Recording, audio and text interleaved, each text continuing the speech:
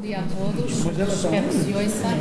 Uh, muito obrigada desde já por terem, terem vindo e por se juntarem a esta, a esta conversa aberta. Uh, a Amnistia Internacional agradece então a todos os presentes e naturalmente também a todos os nossos uh, convidados. É muito importante podermos uh, falar desta situação numa altura em que, como sabem, Rafael Marques é um caso apelo uh, que é apadrinhado, entre aspas, pela Amnistia uh, Internacional. Temos acompanhado o seu caso ao longo do julgamento em Angola, o julgamento no âmbito do livro Diamantes de Sangue.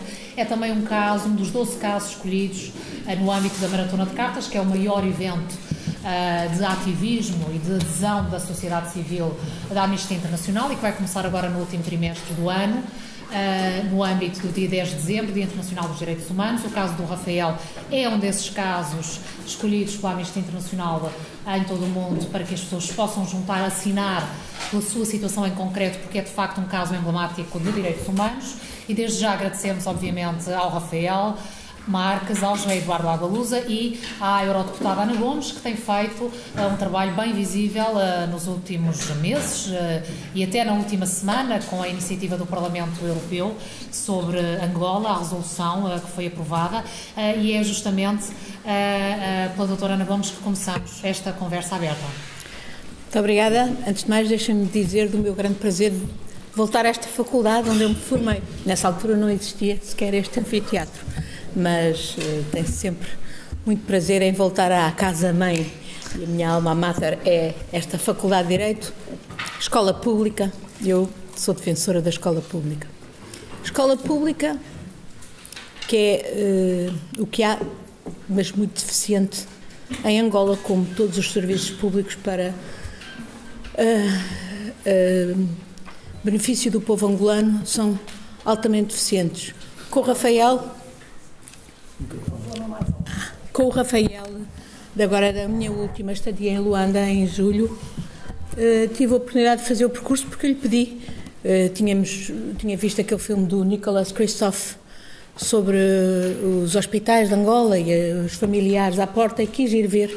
E fui uma noite com o Rafael fazer uma ronda por alguns hospitais e vi os familiares das, das, dos doentes cá fora em condições inacreditáveis, uh, ter que estar ali à mão do, do enfermeiro que chamaria e que pediria pagamento para, enfim, para a injeção, para o equipamento que fosse necessário, porque senão o paciente uh, arriscava-se a não ter rigorosamente nada.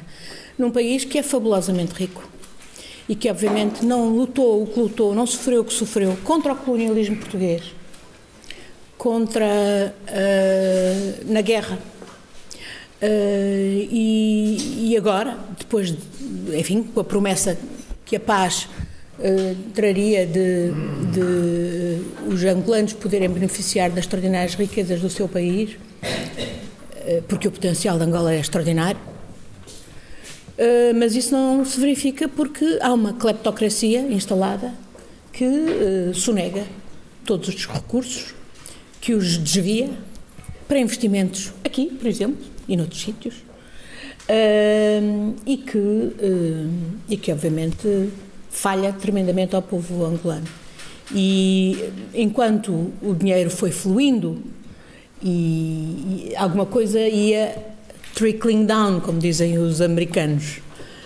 Mas agora que os preços do petróleo caíram brutalmente, uh, o orçamento foi dramaticamente reduzido mas o que não se reduziu foi a roubalheira, a corrupção.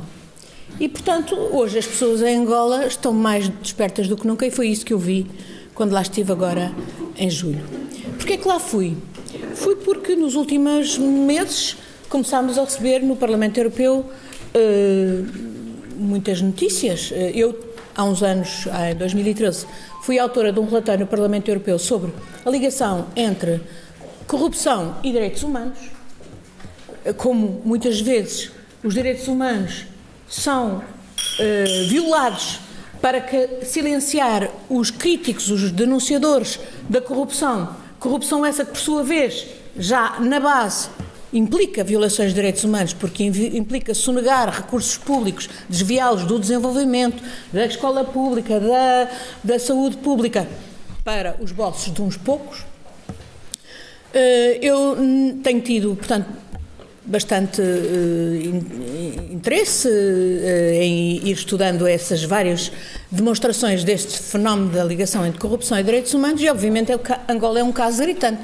E é um caso gritante, ainda por cima, para uma portuguesa, para, um, para os portugueses e, sobretudo, para uma portuguesa, como muitos que estão certamente aqui, que se bateram contra o fascismo e contra a guerra colonial fascista. Porque eu bati-me contra a guerra colonial fascista.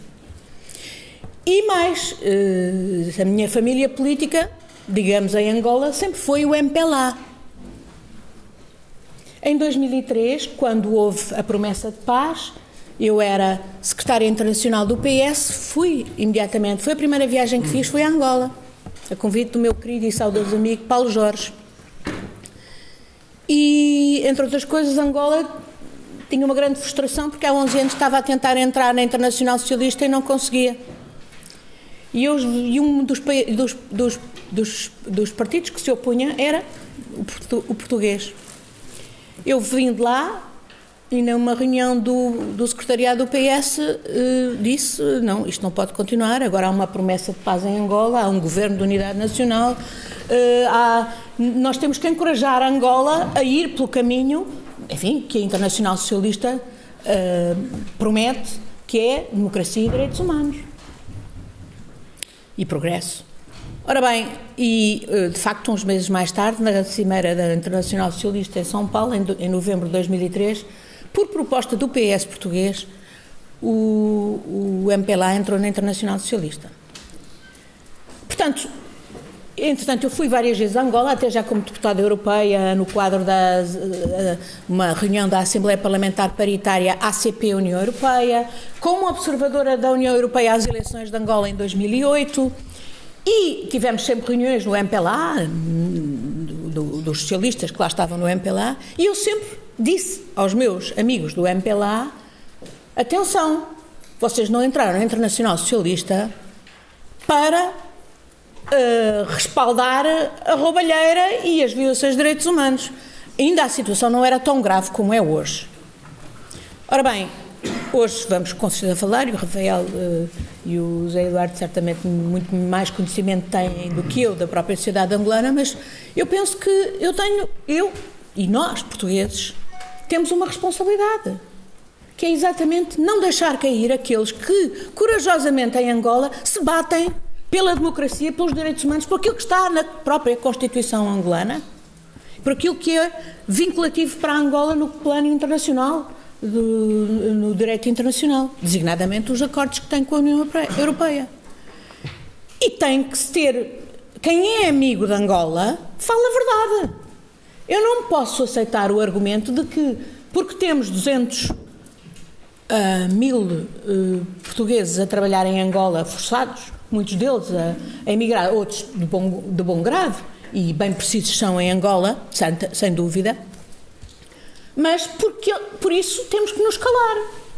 Temos que ficar a aceitar os desmandos, a corrupção e a violação, quando inclusivamente vários desses portugueses são eles próprios vítimas dessa corrupção. Eu mal entrei no avião aqui, mal entrei no avião, houve durante a minha viagem para Lisboa várias pessoas que vieram ter comigo, que eram pequenos empresários portugueses, que estavam agora e que vieram dizer ai, doutor, isto é uma situação tramada e tal, não recebemos há não sei quanto tempo. Bom, mal entrei no avião, comecei a ter pessoas que vieram ter comigo a dizer como portugueses.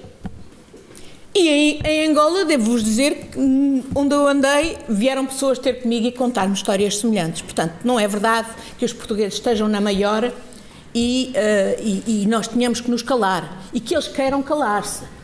Haverá alguns que nos querem calar, porque são os mesmos que são uh, responsáveis pela corrupção, pelos esquemas de branqueamento de capitais, pelos esquemas de uh, opressão lá como cá.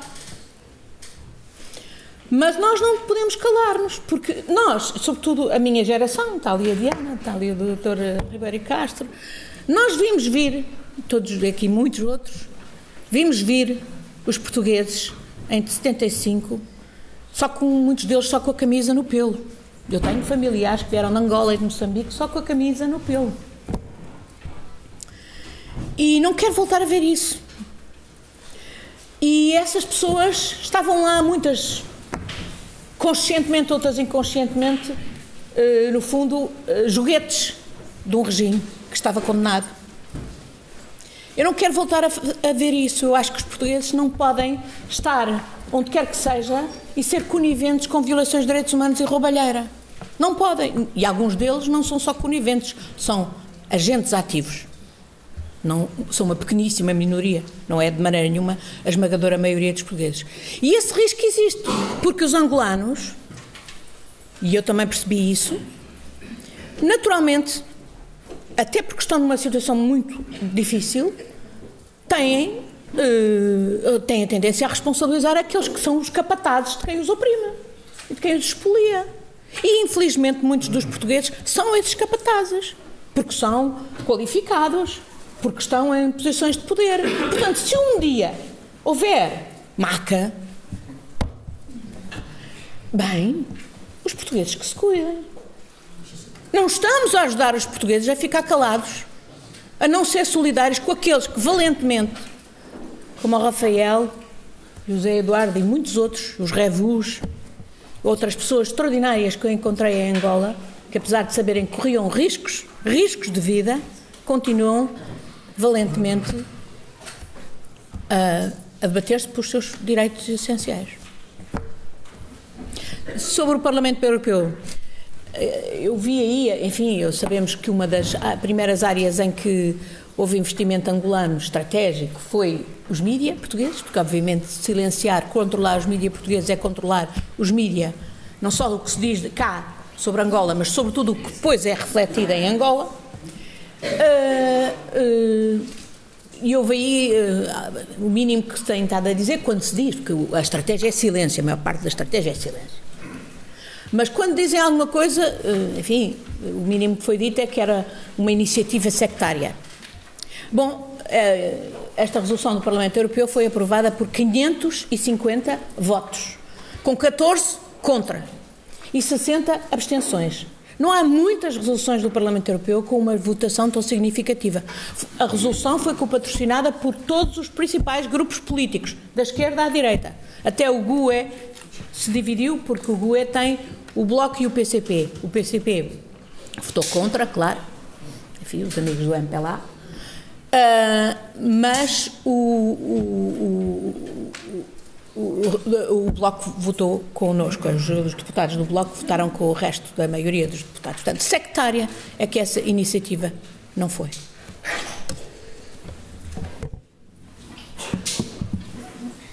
Muito obrigada, então. Uh, Ana Gomes, certamente falaremos mais uh, agora no debate. Entretanto, recordo e queria também pedir a todos que assinassem, aqueles que não assinaram pela petição a favor de Rafael Marques. Temos mais de 11 mil assinaturas, mas queremos pelo menos duplicar o número de assinaturas, porque é assim, no fundo, que a Anistia trabalha fazendo pressão. Uh, quanto mais formos a assinar, melhor.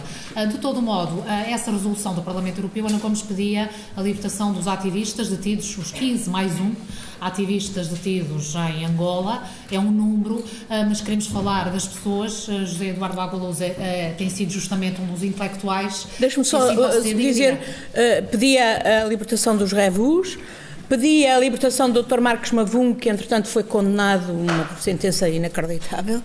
Pedia uh, um inquérito internacional sobre o que aconteceu no massacre do Monte Sumi, em abril. Pedia uh, liberdade de imprensa, respeito pela liberdade de imprensa, pela liberdade de expressão, etc. É, é uma resolução bastante substantiva. E pedia também atenção para os esquemas de corrupção que envolvem responsabilidade de países da União Europeia que se prestam a ser condutas dos esquemas de lavagem de dinheiro, uh, que obviamente para onde sai o dinheiro que devia ser investido no, em benefício do povo angolano. Exatamente, uma, era uma resolução, e era, enfim, foi aprovada uh, há pouco mais de uma semana, bastante abrangente, uh, e agora, justamente a partir dessa, dessa ideia, José Eduardo Alvalusa, porque é que, uh, desde já lhe pergunto, há tão pouca gente a falar como José Eduardo Alvalusa, um escritor, um intelectual conhecido, mas possivelmente o único por estes dias a falar do seu próprio país, como tem falado desde sempre. Porquê? Porquê? Porquê é que não há mais pessoas, não há mais intelectuais angolanos a falar de Angola? Bem, uh, bom dia. Está, está a funcionar?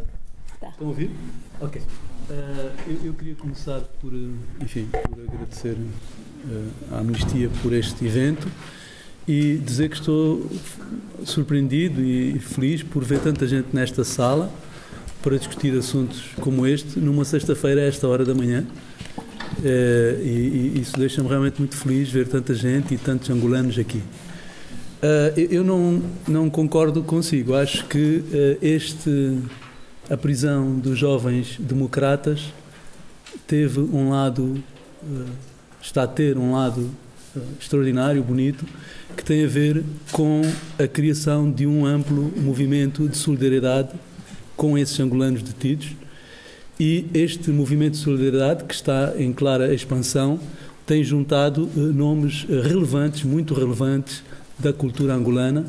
Eh, eu lembro que neste vídeo que eu próprio ajudei a produzir, e que, já vai, já vão em três vídeos, na verdade, tem gente de Angola, tem gente como o Paulo Flores, tem gente como o Nástio Mosquito, tem gente como o Calafé Palanga, enfim, eh, eh, como o Anjaki, escritor angolano, enfim, tem a, a Aline Frazão, uma grande cantora angolana, enfim, eu podia continuar a dar nomes, são uh, nomes dos mais expressivos da cultura angolana contemporânea, sobretudo jovens.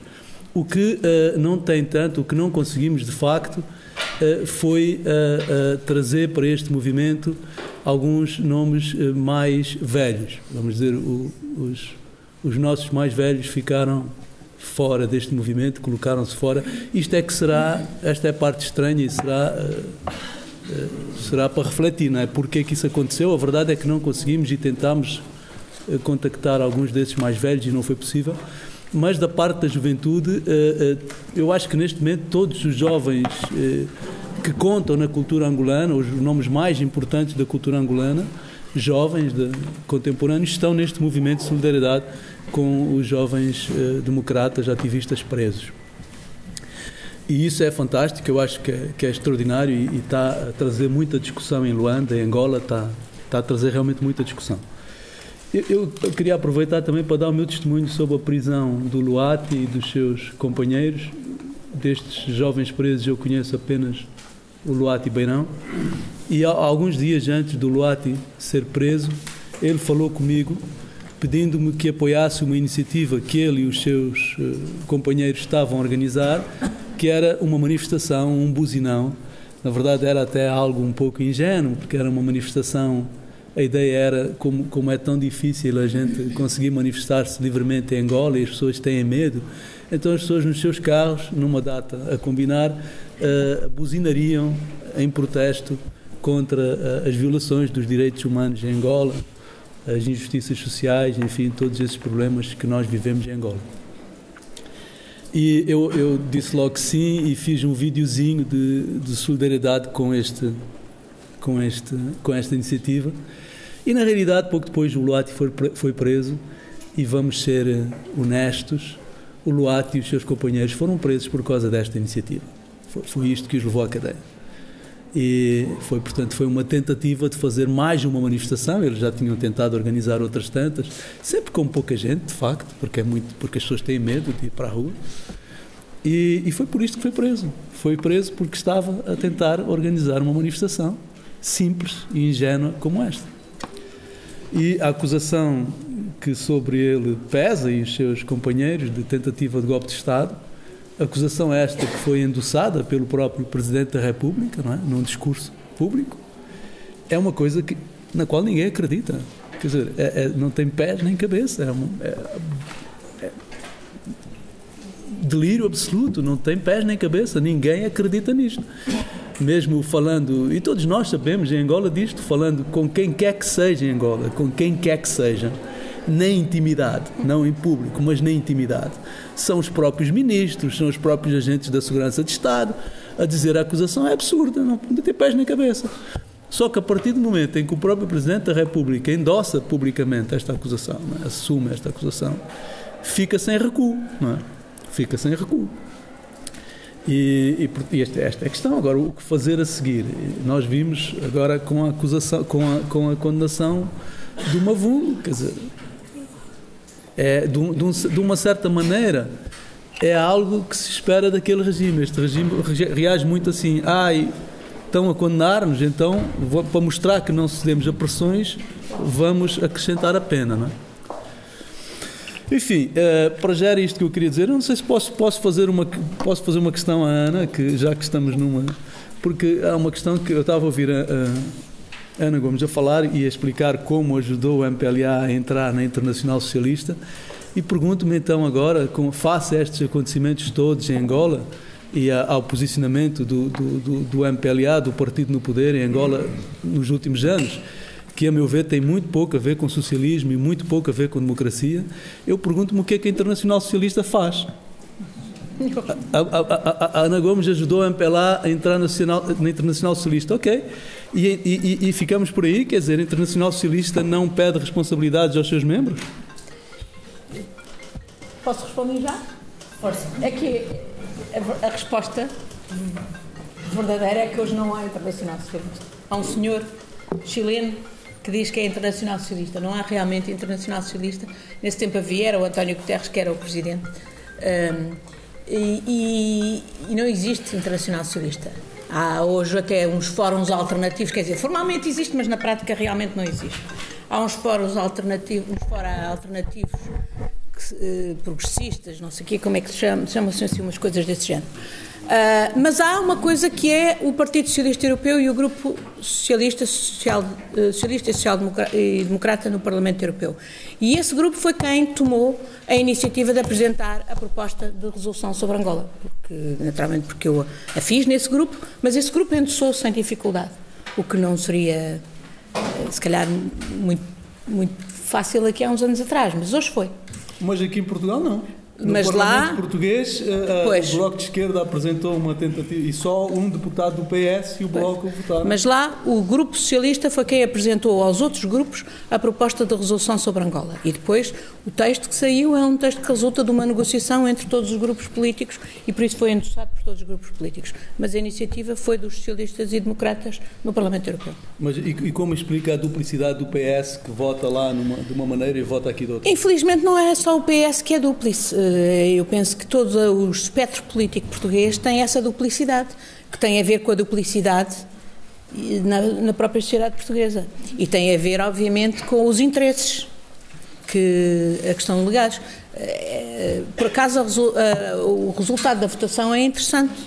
Só houve dois deputados portugueses que efetivamente votaram contra foi a deputada Inês Zuber do PCP e o deputado Marinho Pinto. Aliás, ele hoje vai ser entrevistado pela Antena 1. Acho que era interessante perguntar-lhe porque é que ele votou contra direitos humanos em Angola. Quando ele era bastonário da Ordem dos Advogados, eu lembro-me de ter levado o doutor Francisco Coemba e ele o ter recebido lá na Ordem porque ele ia voltar a, a, Angola e, enfim, havia medo que ele pudesse ser, e era importante dar-lhe o respaldo de ele ter tido o encontro com o, doutor, com o, o bastonário da Ordem dos Advogados. E nessa altura o doutor Marinho Pinto, muito simpaticamente, a, acolheu a minha sugestão e recebeu-o na Ordem dos Advogados. Mas... Uh, mas agora votou contra, não sei se se enganou. E foram os outros 14 já? Os outros, os outros 14 são várias nacionalidades. Descobri que havia um espanhol socialista que se tinha enganado. Uh, devia estar distraído. Uh, mas uh, contra portugueses foram só dois, a Inês Zuber e o Dr. Marinho Pinto. Depois houve algumas abstenções. Uh, suponho que o, o Dr. Paulo Rangel, Paulo Rangel, Cláudia Aguiar Monteiro, Monteiro Aguiar, que é do PSD, Sofia Ribeiro e Dr. Fernando Ruas, portanto, estes quatro do PSD abstiveram-se o deputado do PCRS, Nuno Mel, votou a favor. Também não sei se distraiu, mas a verdade é que votou a favor. Uh, e, e, e, depois houve alguns que não votaram. Não estavam ou, ou não votaram. Mas os socialistas portugueses votaram todos a favor. Bom, avançamos. Para... Eu pus no Twitter o link, podem ver quem é que votou e quem é que não votou iremos ver com todo o pormenor, quem ainda não viu pelo menos, Uh, prosseguimos então, há pouco o Jair Barbarosa falava do caso de Marcos Mavungo, que é um caso que a Amnistia Internacional também tem acompanhado. Ele foi condenado na segunda-feira desta semana a seis anos de pena de prisão efetiva e dois dias antes, penso, Rafael Marques uh, recebeu em Luanda a mulher de Marcos Mavungo. O que é que ela uh, lhe pôde contar? Enfim, imaginemos que será muito difícil para ela. Uh, como é que foi esse encontro? Podemos, podemos saber? Uh, antes de mais, muito bom dia a todos os presentes e gostaria também de agradecer à Amnistia Internacional por essa oportunidade e à Eurodeputada Ana Gomes uh, pelo que tem feito por Angola uh, nos últimos tempos. no sábado passado, organizei um encontro de solidariedade para com os presos políticos e uma das pessoas presentes foi a esposa do Marcos Mavungo e foi um encontro com mais de mil pessoas e ela falou uh, sobre a prisão do marido, como o marido foi preso quando saía da igreja. O marido tinha pedido, uh, as, tinha informado as autoridades, de acordo com a lei, uh, que realizaria uma manifestação contra a corrupção e a má governação essa manifestação não foi autorizada pelas autoridades locais, mas o Mavungo foi chamado para um encontro e ele explicou que, do ponto de vista constitucional, o governo provincial não tinha uh, poderes para proibir a manifestação. Uh, e dessa discussão uh, resultou o facto de ter sido acusado em tribunal de ter desafiado as autoridades e isso contribuiu para a sua condenação. Ele foi preso no dia da manifestação, quando saía da igreja, saía da missa na Igreja Católica, uh, foi detido. Uh, por volta das 17 horas, uh, conforme depoimento da, da esposa, as autoridades chamaram-na a dizer que libertariam Marcos às 17 horas porque não havia nada contra ele, não havia, ele não tinha cometido crime nenhum e já está praticamente há seis meses detido e foi condenado uh, mesmo sem ter havido qualquer crime. Porquê? Porque encontraram os explosivos, algures. Uh, e esses explosivos foram ligados ao Marcos Mavungo, que é um engenheiro uh, informático, trabalha para uma empresa petrolífera, a Chevron. E o indivíduo que encontrou os explosivos disse que os explosivos em tribunal, que nada tinha a ver com o Marcos Mavungo, que encontraram um saco, e então há um mandado de captura contra pessoas desconhecidas. Uh, isto também é uma inovação no. Dizer, e estas pessoas desconhecidas são os cúmplices do Marcos Mavungo, uh, que foi acusado então de crime de rebelião. E o oficial, o capitão que realizou a operação, uh, explicou em tribunal que foi o chefe dele quem o obrigou a assinar a declaração ligando o Mavungo a estes explosivos, mas que de facto não havia, explicou em tribunal que não havia qualquer nexo entre o Mavungo e os, e os explosivos. e não houve perícia, não houve investigação, não houve nada, foi condenado pura e simplesmente por causa disso. Outro aspecto importante eh, que a própria esposa também partilhou é o facto das autoridades, em todos os contactos com ela, eh, mesmo as autoridades judiciais, terem reiterado que o seu marido é inocente, mas há ordens superiores. E nós em Angola, eh, quando nos queremos referir à arbitrariedade, referimos-nos sempre às ordens superiores. É o caso também dos 15 jovens que se encontram atualmente detidos desde o dia 20 de junho, eh, foram detidos quando eh, se encontravam reunidos em casa de um político que tem um, um espaço de formação onde dá cursos até de alemão e, e de informática e estavam a discutir técnicas de não violência. E estavam a discutir técnicas de não violência porque de todas as manifestações que tentaram organizar desde 2011, a regra geral, foram sempre brutalmente reprimidas. E muitos desses jovens já têm mazelas físicas muito sérias por causa uh, da tortura constante, porque têm passado. E então decidiram que o melhor seria estudar e tornaram-se muito mais perigosos, precisamente porque estavam a ler livros e estavam a preparar uh, ideias.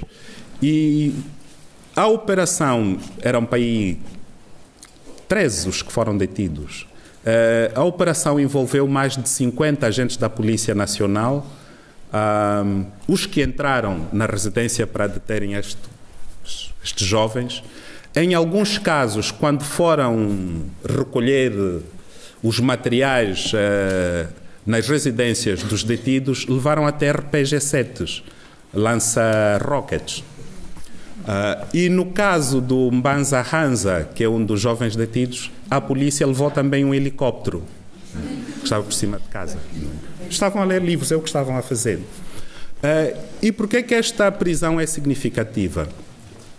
Porque nós estamos a viver uma situação económica em que durante os últimos, até 2014, Angola era considerada como uma das economias que mais crescia no mundo, das 10 economias.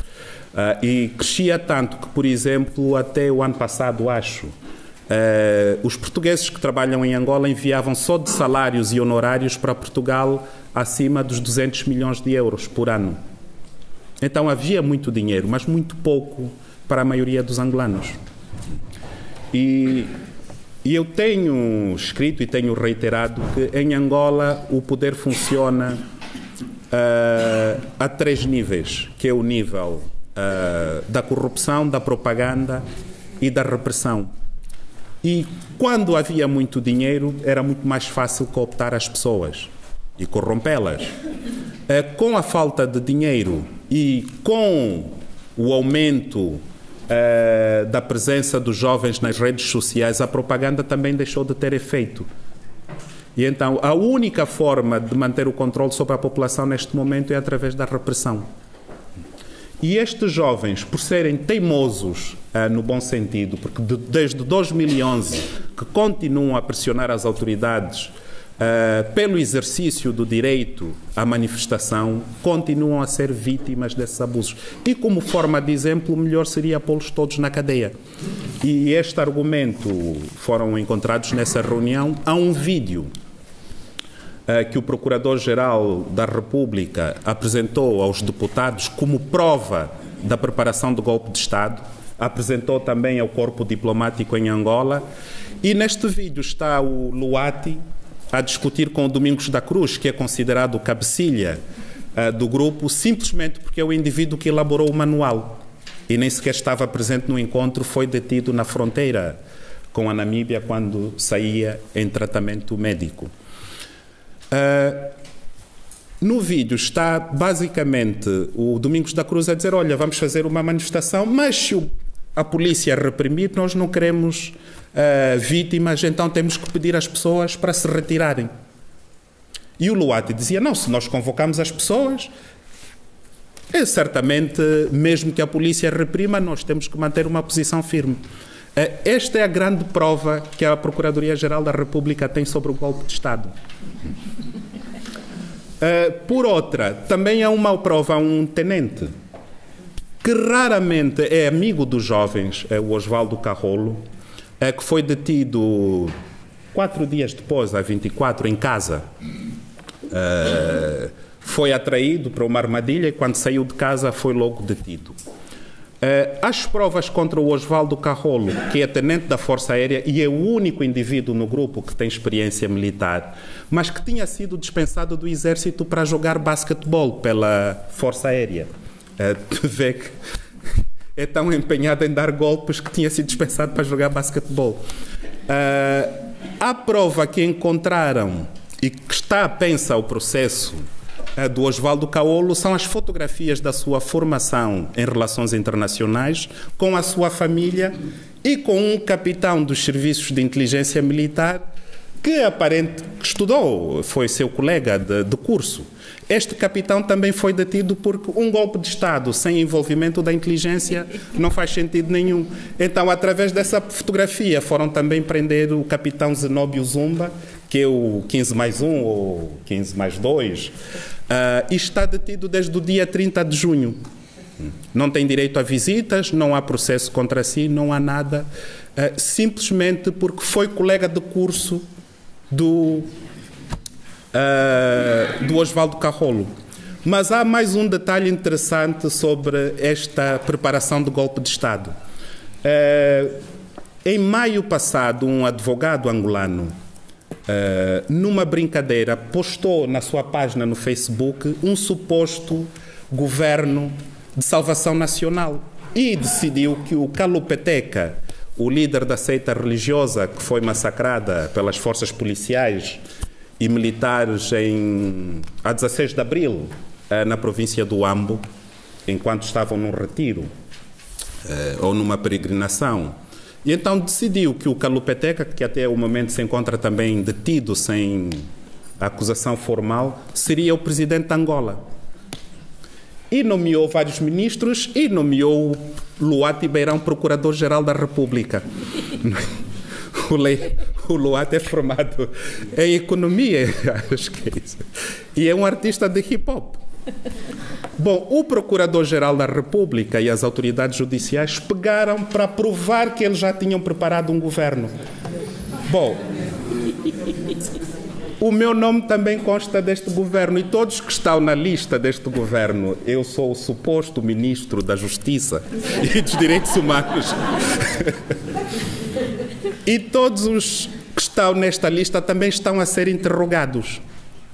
Uh, há um político muito conhecido, que também é um ativista cívico, o Dr. Filomeno Vieira Lopes, que trabalhou muitos anos na Sonangol e no governo do Albano Pedro foi nomeado ministro dos Petróleos. Então foi chamado também sobre a sua participação nessa preparação do golpe de Estado. Uh, e eu também deverei ser chamado como ministro da Justiça dos golpistas. Uh, mas só para, para explicar o, o ridículo da situação. Eh, as acusações de golpe de Estado fazem parte do arsenal da narrativa política em Angola e, sobretudo, do presidente. E por isso é que o presidente veio a público falar nisso para dar credibilidade a essa acusação. Em 1989, o então ministro do Interior, eh, Alexandre Quito, foi também acusado de tentativa de golpe de Estado, porque era o segundo homem na hierarquia do governo. E qual foi a prova apresentada contra o general Quito? Ele estava na praia, no Mussulo, que certamente sabem, uh, e tinha uma câmara de filmar, e naquela altura só os dirigentes é que tinham câmaras de filmar e podiam filmar. E ele estava a filmar os filhos a tomarem banho na praia. Os agentes da segurança tiraram uma fotografia do general a filmar e disseram não que ele estava a filmar o Futungo de Belas, a residência do presidente, para então mandar para lá as tropas darem o golpe. E ele foi demitido uh, por causa disso. Depois houve a história também do general Miala em 2007. Uh, 2007, foi isso. Que era o chefe. 2005 foi, eh, era o chefe do Serviço de Inteligência Externa. Eh, também da noite para o dia apareceu com, e era das pessoas mais leais ao presidente, apareceu também com uma acusação de golpe de Estado, mas acabou por ser condenado a quatro anos de prisão por insubordinação e por corrupção, porque tinha quatro aparelhos de gravação. Um homem que movimentava centenas de milhões de dólares depois uh, foi preso. Insubordinação porquê? Porque se recusou a, a ser despromovido em parada militar. Que tinha de ir à parada fardada, então, fardado para lhe retirarem as patentes de general e passar então de, de general a tenente general. E ele recusou fazer isso e foi condenado. É só para explicar que isso é uma prática antiga e desta vez os jovens estão a ser vítimas desta mesma mentalidade. E procura-se criar um discurso, sobretudo aqui em Portugal, eh, de que de facto eh, não há fumo sem fogo. Mas a história basicamente é, é essa. Eu conheço esses jovens, tenho escrito muito sobre esses jovens. Uh, o Luati, por exemplo, esteve uma vez detido, foi detido aqui em Lisboa, uh, aí há poucos anos.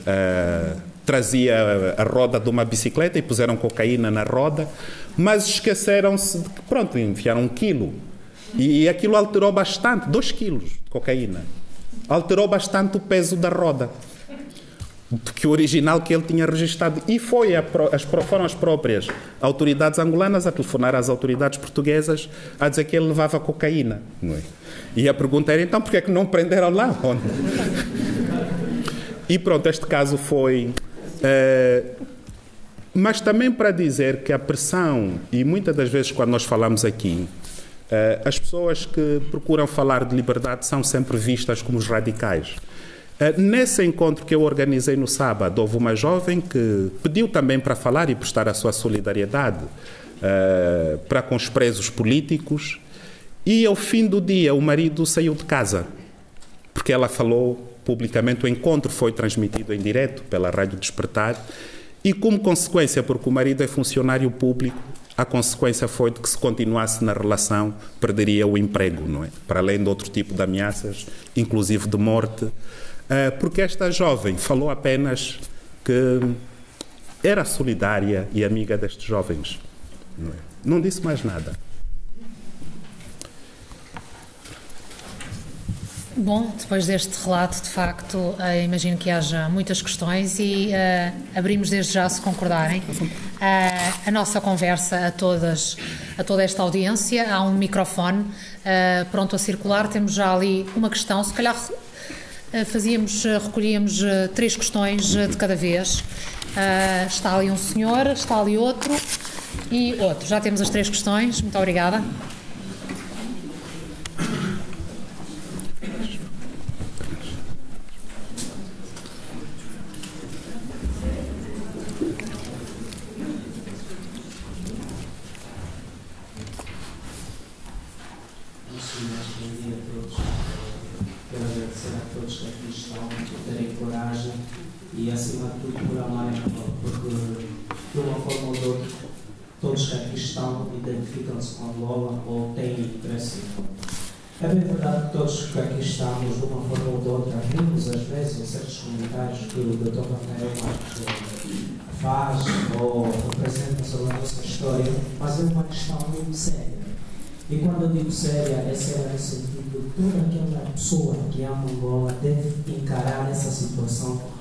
como algo grave.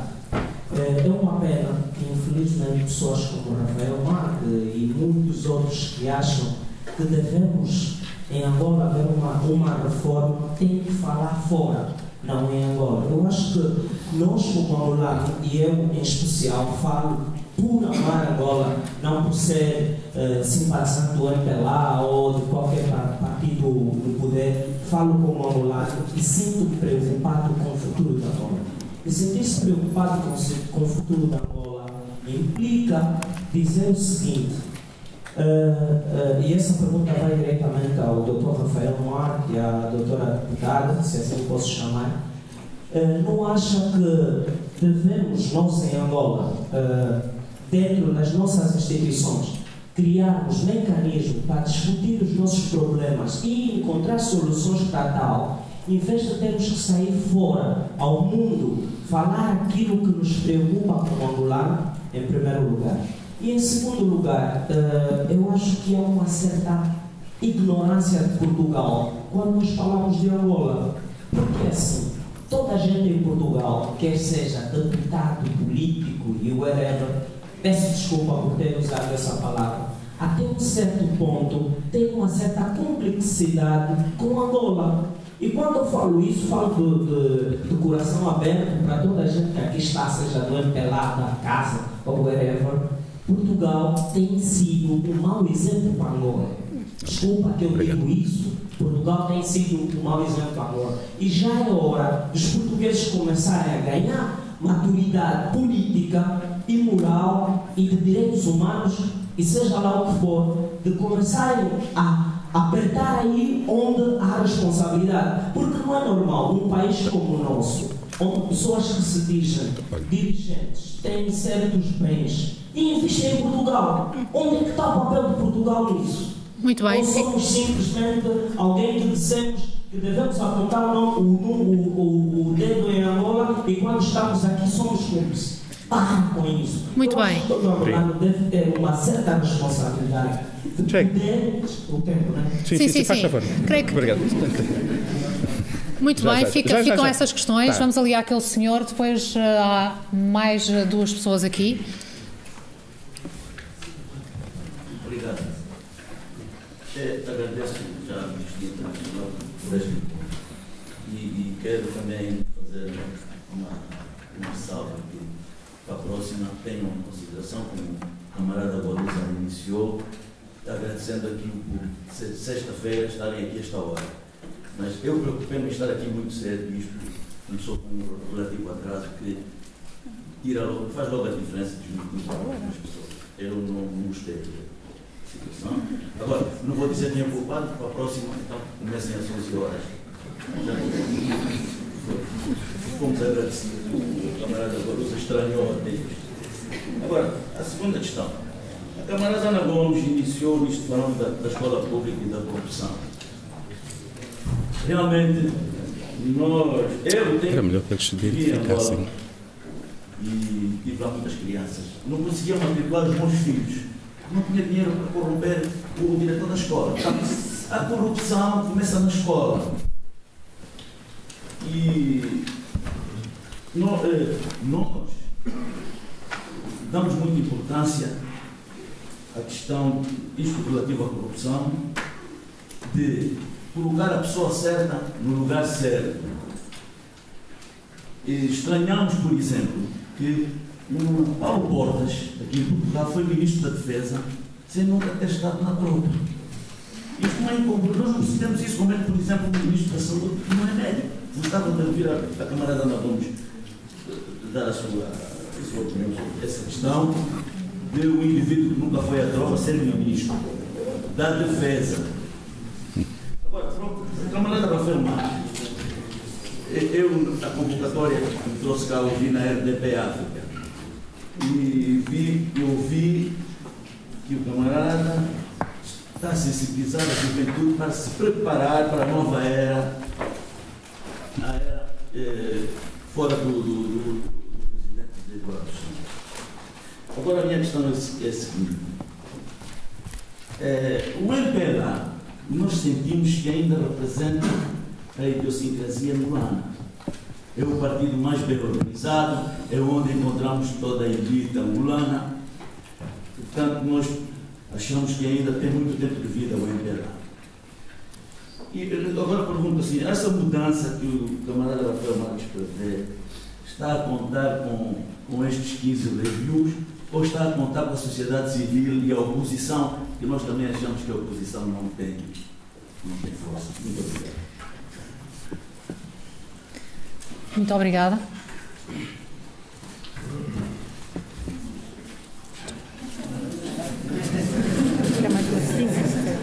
Ah, sim, sim, sim. Ouvimos, ouvimos mais dois e depois respondemos. muito boa Antes de mais, eh, gostaria de voltar um pouco. Eh, Eu ouvi a doutora deputada a falar sobre a história de Angola e frisou os acordos de paz em 2003. Não foram em 2003, foram em 2002. Não, não. Eh, Em 2003 foi quando eu lá fui. Sim, sim, mas disse que os acordos seriam em 2003. Não. que A partir daí. Entendeu mal. Foi em 2002, já agora. Só para refrescar um bocado da história de Angola. Ah, agora, voltando um pouco no tempo, a história de Angola está muito ligada ah, à guerra. Isso é um fato notável. Hoje, ah, ouço ah, aqui na sala que Angola não respeita os direitos humanos. Ah, basicamente é o que se resume. Ah, o que me pergunto é como é que um país que em plena guerra, que em plena guerra, ah, com a oportunidade, que deu, que deu uma oportunidade à guerrilha opositora de se reconciliar, não respeita os direitos humanos. Também tenho uma questão que também me faz um bocado de confusão, é que não respeitando os direitos humanos, ah, Angola faz parte, como membro não permanente da ONU, e é um país pacificador da África. E isso também é uma questão que, não, que me deixa um bocado sujetiva a dúvidas.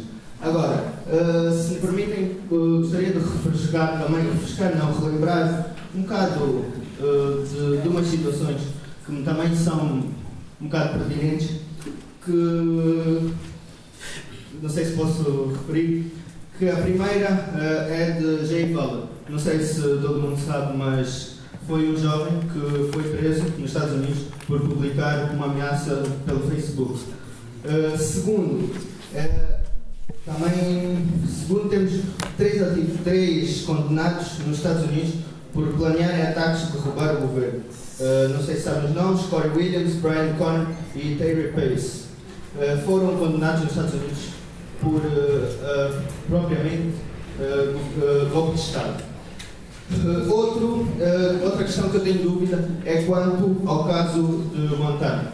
Portugal está tão preocupada com os direitos humanos que está tão preocupado com os direitos humanos que durante o tempo de, de Jorge Sampaio, uh, se não me engano, é membro do PS, não? Uh, ou foi, não sei. Uh, eu também não, não sou de, de, política, mas acho que ele é do PS. Uh, tempo de Jorge Sampaio, entre 2002 e 2006, passaram presos que foram para a prisão do Guantánamo e passando por Portugal. se eu não estou em erro também faço.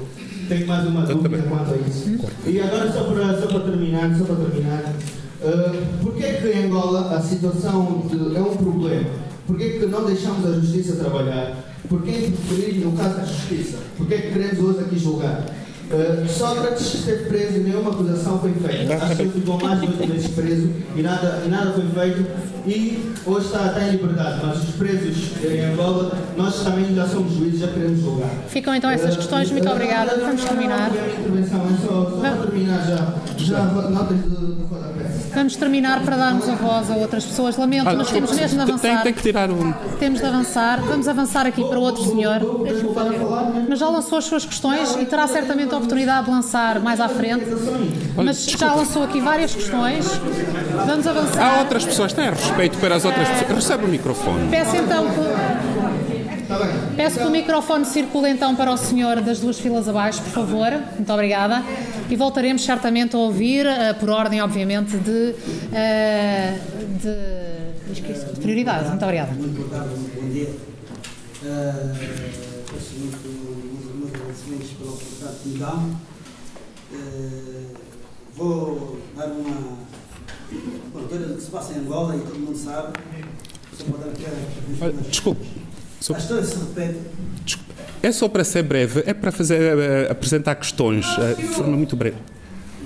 Estou a pedir para os participantes serem breves para que mais pessoas possam intervir. Bem? A história se repete. Não está ligado com A história se repete. Mas se quiser lançar a questão. Uh... Pronto, e repetimos daqui. Nós podemos repetir a questão daqui. Qual é a questão? Ok.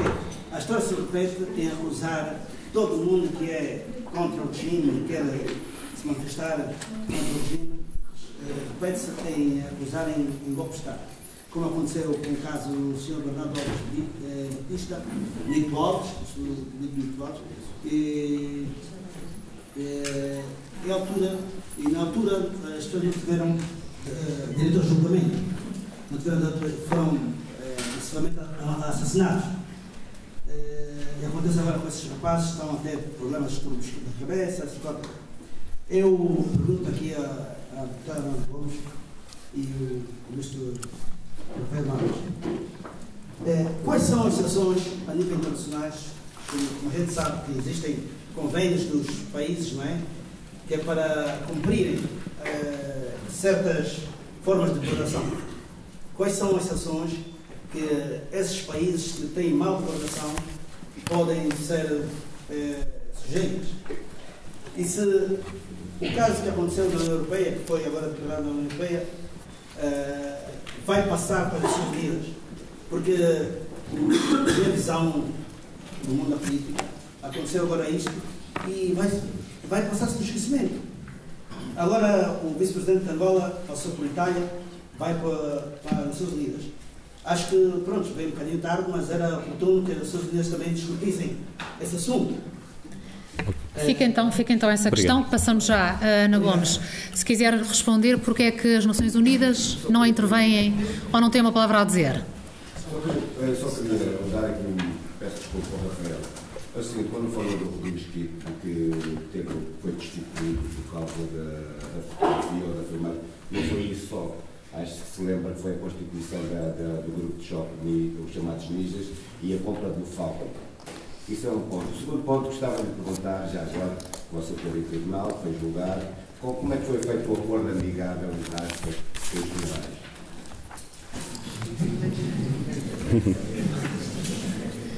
Ficam então estas uh, questões. Ana Gomes. Bom, tem de ligar, obrigada. Não há propriamente sanções específicas uh, a nível internacional por violações de direitos humanos. A melhor sanção é aquela que é feita pelos povos e que muitas vezes é representada por resoluções que são aprovadas no Parlamento Europeu, até na própria Comissão das Nações Unidas para os Direitos Humanos ou na Assembleia Geral, mas uh, não é são indicativas de um mal-estar, de, um, de, um, de, uma, de uma crítica. O, a sanção principal é o impacto que tem nos cidadãos do seu próprio país, porque, obviamente, quem muda a situação num país são os seus próprios cidadãos. Eu não sou adepta, eh, eu sou adepta da solidariedade internacional, mas não sou adepta de que a mudança possa vir de fora. A mudança tem que ser dentro. E aqui, hoje, vivemos num mundo globalizado, interdependente não é possível, por mais que eles queiram controlar os mídias portugueses, não é possível silenciar, como aliás o Rafael já disse, em Angola hoje toda a gente sabe tudo rapidamente graças ao Facebook. E aí eles ainda não conseguiram controlar eh, para condicionar, digamos, os, os mídias. Uh, portanto, eu, não, eu não, não sei, nem tenho pretensão, nem que, que, que, isto vá dar em resolução na, nas, no quadro das Nações Unidas. Não é isso que importa. Isto é um, é um sentimento de um conjunto de deputados representantes da, da Europa que têm acordos eh, com Angola em matéria de direitos humanos e desenvolvimento, que é um parceiro privilegiado de Angola e que obviamente não pode ser eh, negligenciado as questões de direitos humanos na relação com Angola. Até agora os governos Todos os governos europeus têm privilegiado os aspectos económicos. E não pode isso continuar, é isso que nós estamos a dizer nesta resolução. E, portanto, é uma expressão de solidariedade com o povo angolano que não está de braços cruzados, que está a, a, a perceber que tem que tem que tem, tem direito a falar, a criticar, a exigir contas da parte dos seus governantes, a exigir que os recursos de Angola sejam de facto investidos em Angola e em benefício do conjunto do povo angolano e não apenas de alguns. Um, o, o, o, gostava de dizer, uh, em, em, um dos, de qualquer maneira, há um aspecto de facto que cada vez é mais importante, que é o de, uh, desta ligação que existe, portanto, entre violações de direitos humanos e corrupção e branqueamento de capitais. A legislação europeia e uh, americana sobre uh, contra o branqueamento de capitais, como sabem, é uns, além de fomentar, uh, enfim, todo, enfim, a, a cobertar a corrupção, etc., é também um esquema, inclusivamente, da, da própria criminalidade organizada de todo tipo e do terrorismo até. E essa legislação pode e deve aplicar-se. E eu devo vos dizer que cada vez há mais sensibilidade a isso. E Angola, infelizmente, está no topo aquele senhor dizia que Angola está no Conselho de Direitos Humanos, está no Conselho de Segurança. Sim, senhora, também lá estão outros e lá passaram outros e não, isso não tem nada a ver com o seu com o seu recorde, com o seu registro em matéria de direitos humanos. Tem a ver com as votações que se fazem uh, no quadro das próprias Nações Unidas, muitas vezes por bloco regional, não tem nada a ver com o julgamento que se faça sobre se é ou não uh, violador de direitos humanos. Agora, o que lhe posso garantir é que cada vez há mais sensibilidade internacional e há mais acionamento, e uma das listas onde Angola está muito mal colocada é justamente na lista de, dos esquemas da corrupção e do, do branqueamento de capitais. E há mecanismos jurídicos a acionar, a serem acionados. E uh, eu ouvi agora em Angola de muitos amigos meus do MPLA, como o Rafael dizia, em privado as pessoas dizem muitas coisas, até em público a mim, uma das coisas que mais me, me chocou foi em encontros que eu tive com ministros angolanos, em reuniões oficiais com eles, com o, o staff deles ao lado, deles fazerem, explicarem-me que o que se estava a passar em Angola em matéria de. Quem, curiosamente, quem chamou para, as, para essas reuniões, para essas conversas, o presidente Eduardo Santos e a sua família não fui eu, nunca falei nele. Foram eles. A certa altura, a propósito de discutirmos a história dos revus e de isto significar, vieram-me com a tese que até o Cameron, disse-me um ministro, até o Cameron já estava alertado contra a radicalização dos jovens que dá em terrorismo. E eu disse, atenção, mas então, mas o que é isto? Uh, mas, mas os jovens uh, uh, estão a protestar porque se os jovens não são os que se revoltam contra a injustiça num país, então mal está esse país. São sempre os jovens que se revoltam primeiro, não é? E como aconteceu connosco, eu estava a falar da minha geração, que era a deles. Uh, e, isto é, e, e, estou a falar de pessoas que eu conheci nessas alturas. Uh, e, e, e, de repente foram eles que trouxeram o Presidente Jair Eduardo Santos à colação, dizendo: Mas é, está bem, eu sei, eles protestam contra o, o Presidente Jair Eduardo Santos e os seus filhos, Claro que eles só, são, só têm o que têm porque são filhos do presidente, mas, mas trabalham, mas dão emprego. E o presidente tem direito, porque é o presidente, fez. Tipo, uh, uh, e além do mais, aqui o que está a passar-se em Angola nessa matéria é. Estamos a, a fazer em Angola em, em 20 anos aquilo que vocês fizeram na Europa em 200 anos, que é a acumulação primitiva do capital. Eu fiquei aparvalhada, porque estavam-me a tentar justificar, em termos pseudo-marxistas, a roubalheira. À frente dos funcionários. Enquanto que, e de facto deu uma percepção de que, que o desfazamento entre a realidade do povo angolano e o que estava naquelas cabeças. Uh, o, o, o, portanto, há mecanismos que vão ser acionados, estão a ser acionados e infelizmente posso lhe garantir que Angola está no topo dessas listas, por várias razões. E tem muito a ver, inclusivamente, com o investimento em Portugal. Aquele senhor que dizia, porque é que investem cá em Portugal e não investem lá? Eu estou convencida que é, uh, não é, é, é, também para assegurar o, o, o depois da sucessão para ter a certeza que quem roubou fica com o dinheirinho, ou os filhos ficam com o dinheirinho, não é só um esquema de. de é, é, porque, obviamente, a sucessão é inevitável. Todos morremos e o José Eduardo Santos também há de morrer, não é? E esse é um dos bloqueamentos também na sociedade angolana. É que hoje não há só a, a tensão que resulta da crise económica, mas é também a tensão que está dentro do próprio poder, e eu sei pelas conversas que tive, sobre a, a sucessão do presidente.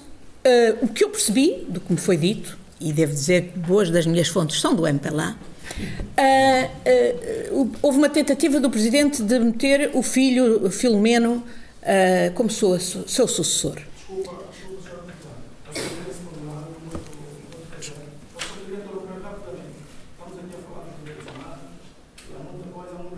Mas isto tem a ver. Mas eu não, mas, já, mas, mas eu não tenho medo de falar. eu não tenho medo de falar. Deixa-me só. Alguma, vou, isto tem a ver com os direitos humanos. E, portanto, o que eu, eu, queria dizer, o, o, o presidente José Eduardo Santos terá tentado pôr o seu filho como presidente. E isso não foi bem recebido pelos históricos do próprio MPLA. E, portanto, aí o Presidente fez recentemente uma declaração que sugeria que, afinal, já não, não, não iria, não, não terminaria o mandato, iria representar-se a, a, a, a, continuar na presidência. Isto implica uma tensão dentro do próprio MPLA. E, e pode explicar muitos das, da, da, da, dos erros e da, e da, porque até aqui o presidente José Eduardo Santos foi relativamente cuidadoso, foi relativamente medido, até comparativamente com outros, uh, outros chefes de Estado e, e chefes de governo angolanos, nestas matérias de justamente de direitos humanos, a repressão era enfim, cuidadosa. Agora, a, a, última questão que eu queria dirigir das várias que falaram. É, é, uma das coisas que me surpreendeu nas conversas que tive em Luanda, e designadamente com jornalistas angolanos que me entrevistaram, é que todos me perguntavam: mas que interesse é que a senhora tem aqui em Angola? Que investimentos, que negócios? Porque de facto na cabeça da maior parte dos angolanos não, não, não passa a ideia de que alguém pode ter um interesse desinteressado, um interesse solidário, não ter interesses, interesses, negócios, parceiros. Porque, infelizmente, boa parte dos portugueses, foi-me dito, ah, eu estava no Trópico, diziam-me, ah, ali no Epic Sana, vá lá, todos em 15, em 15 dias está cá o Miguel Ramos. É, Uh, e não é para não é por solidariedade, é por é por negócios. Ora bem, eu não tenho nenhum negócios em Angola, nunca tive. Aliás, puseram aí a circular que eu tinha uma filha em Angola, tenho muita pena, não tenho. Uh, mas, mas gosto de Angola. Fui muitas vezes a Angola, o meu marido foi consul em Angola, eu fui lá, fui lá durante a guerra.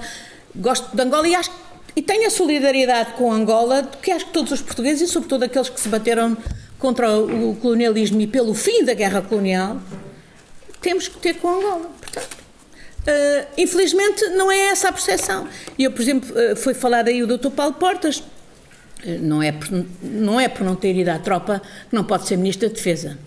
Não é por não ser médico que não se pode ser um grande Ministro da Saúde. Olha, o, nosso, o pai do nosso Serviço Nacional de Saúde chama-se Dr. António Arnoux e não é médico. não é isso. Mas é de facto a atitude que se tem em relação às questões de Estado, se se serve o Estado ou se se serve do Estado. E eu lamento de dizer que, uma vez que veio aqui um ministro angolano, eu não, não direi qual, falar comigo, uh, vou terminar só dizendo que esse ministro uh, uh, estava a receber, eu esperei, porque esse ministro estava num hotel de Lisboa a receber o Dr. Paulo Portas, que nesse momento era Ministro dos Estrangeiros. E era num momento em que uh, as relações estavam muito tensas, tinha havido um incidente com umas declarações e tal. Uh, e e e eu fiquei, como diplomata, fiquei muito uh, surpreendida e chocada por um ministro dos Negócios Estrangeiros português se deslocar a um hotel para ir ver um ministro que nem sequer era, do, era dos Negócios Estrangeiros ou das Relações Externas angolanas. Uh, o que mostra uma atitude de subserviência que infelizmente não é, não é digna de quem serve o Estado, mas é talvez eh, significativa de quem defende interesses pequenos. O governo é um órgão executivo, não se esqueça, é político. Político já está no, Muito obrigado, já voltamos a fazer questões. Rafael, vamos agora dar a voz. Muito obrigada, vamos agora, Rafael.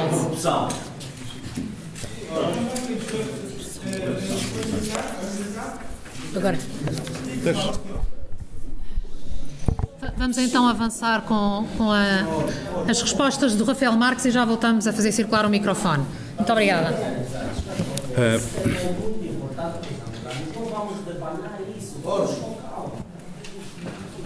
Está bem. Uh, aí o jovem que falou há bocado não disse o seu nome, mas uh, fala nos encontros que são organizados fora sobre Angola. Eh, eu comecei precisamente por falar de um encontro organizado em Luanda. Eu vivo em Luanda, trabalho em Luanda. Os jovens que estão detidos por tentarem exercer o seu direito liberdade de expressão eh, estão detidos em Luanda porque se manifestaram em Luanda. Não fizeram isso fora do país. E é importante que os angolanos também tenham uma voz fora do país, e que também busquem essa solidariedade fora do país, porque Angola faz parte da comunidade internacional e há muitos interesses internacionais em Angola e sobre os quais também devemos discutir, porque tem um papel, um peso muito importante na vida política em Angola. Uh, e só por isso também continuarei a falar aqui em Portugal, uh, continuarei a falar em Angola e onde seja necessário levar a mensagem eh, sobre Angola. Uh, sobre a transição, disse muito bem que o MPLA representa a idiosincrasia e esta é que é a questão uh, que muito nos preocupa. É essa teoria do MPLA ser o povo e o povo ser o MPLA. É importante que se desenvolva na sociedade angolana a ideia de que a cidadania, o exercício da cidadania, o interesse pelo bem comum esteja acima dos partidos políticos e das opções partidárias. O que nós hoje temos são militantes partidários. E nós precisamos de cidadãos que saibam defender a pátria e não indivíduos. Por isso é que hoje temos, quer dizer, só falta ter comitês de especialidade para a recolha do lixo, porque há comitês de especialidade para tudo. Não é? Quer dizer, é a forma sectária que nós encontramos de dividir a sociedade. Os médicos, hoje, para prestarem bem o seu trabalho, têm de ser membros do Comitê de Especialidade do MPLA, os professores, os jornalistas, todos os setores da sociedade angolana. E eu estou contra isso. Como a UNITA também tem comitês de especialidade, Va- Vamos tentar Olha. manter aqui alguma. É é pluralidade. Porque Angola é uma sociedade plural. A UNITA não está na função pública. Eu estou a falar de comitês de especialidade que controlam a função pública. Que controlam. Eu, desculpe, eu sou angolano, vivo em Angola, como o senhor. E o senhor sabe que esses comitês existem na função pública. Na função Sim, pública. em cargos políticos, com diretores nacionais, que é normal que aconteça. Pronto. Aqui acontece. Não é, não é, não é o que acontece, não. É nada normal. Pode falar. É. É, de- é debate sobre agora. uma discussão de entregar as obras públicas de construção pública. Sim, sim, sim. Um diretor é cargos políticos. Tudo, o ministro é cargo político. É normal, não é para lá que está no poder. Se tem os, os- a sua nomenclatura toda. Pronto.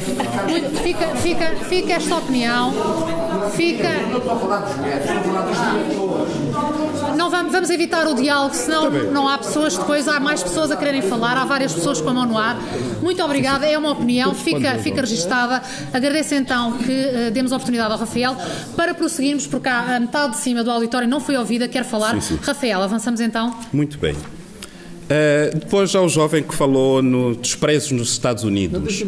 Ah, O Zé responde a esta questão. Não, porque é uma questão, imagino que você seja angolano, vou, vou, vou partir do princípio que você é angolano. É, é, um- é- é- eu sou tão, tão branco como o senhor. não, não, não. Ele não está a falar consigo.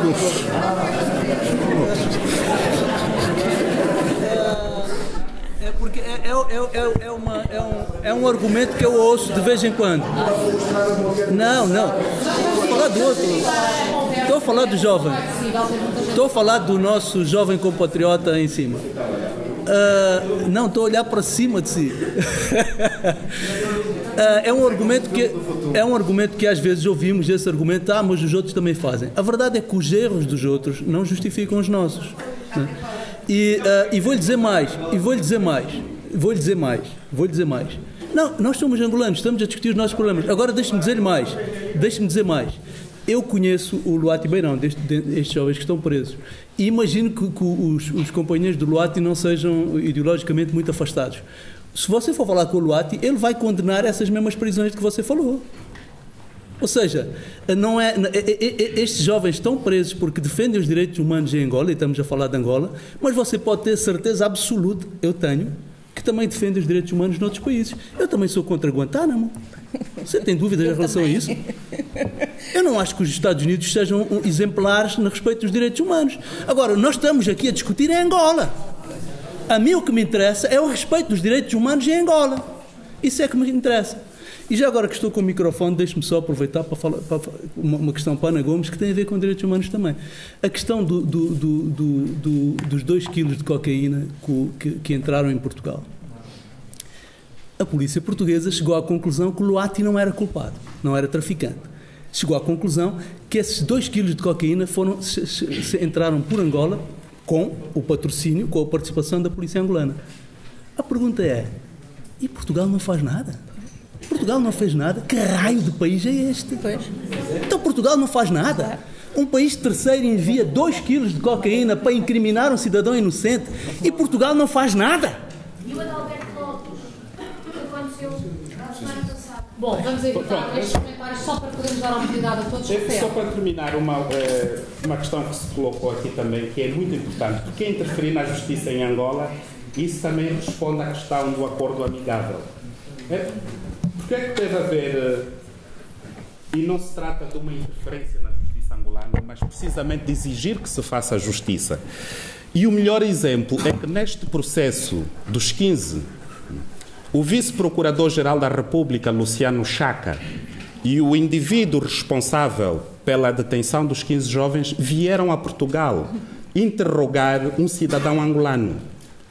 E então agora vamos dizer que não devemos interferir na justiça porque Angola tem jurisdição em Portugal. Quer dizer, vieram interrogar, porque foi em casa do Alberto Neto onde se realizaram esses encontros, e no fim dos dois dias de interrogatórios na Culturgest, pediram ao Dr. Alberto Neto para assinar o auto de interrogatório, mas explicando-lhe que não lhe podiam dar uma cópia porque era ilegal a justiça angolana a fazer interrogatório a um cidadão nacional em território português.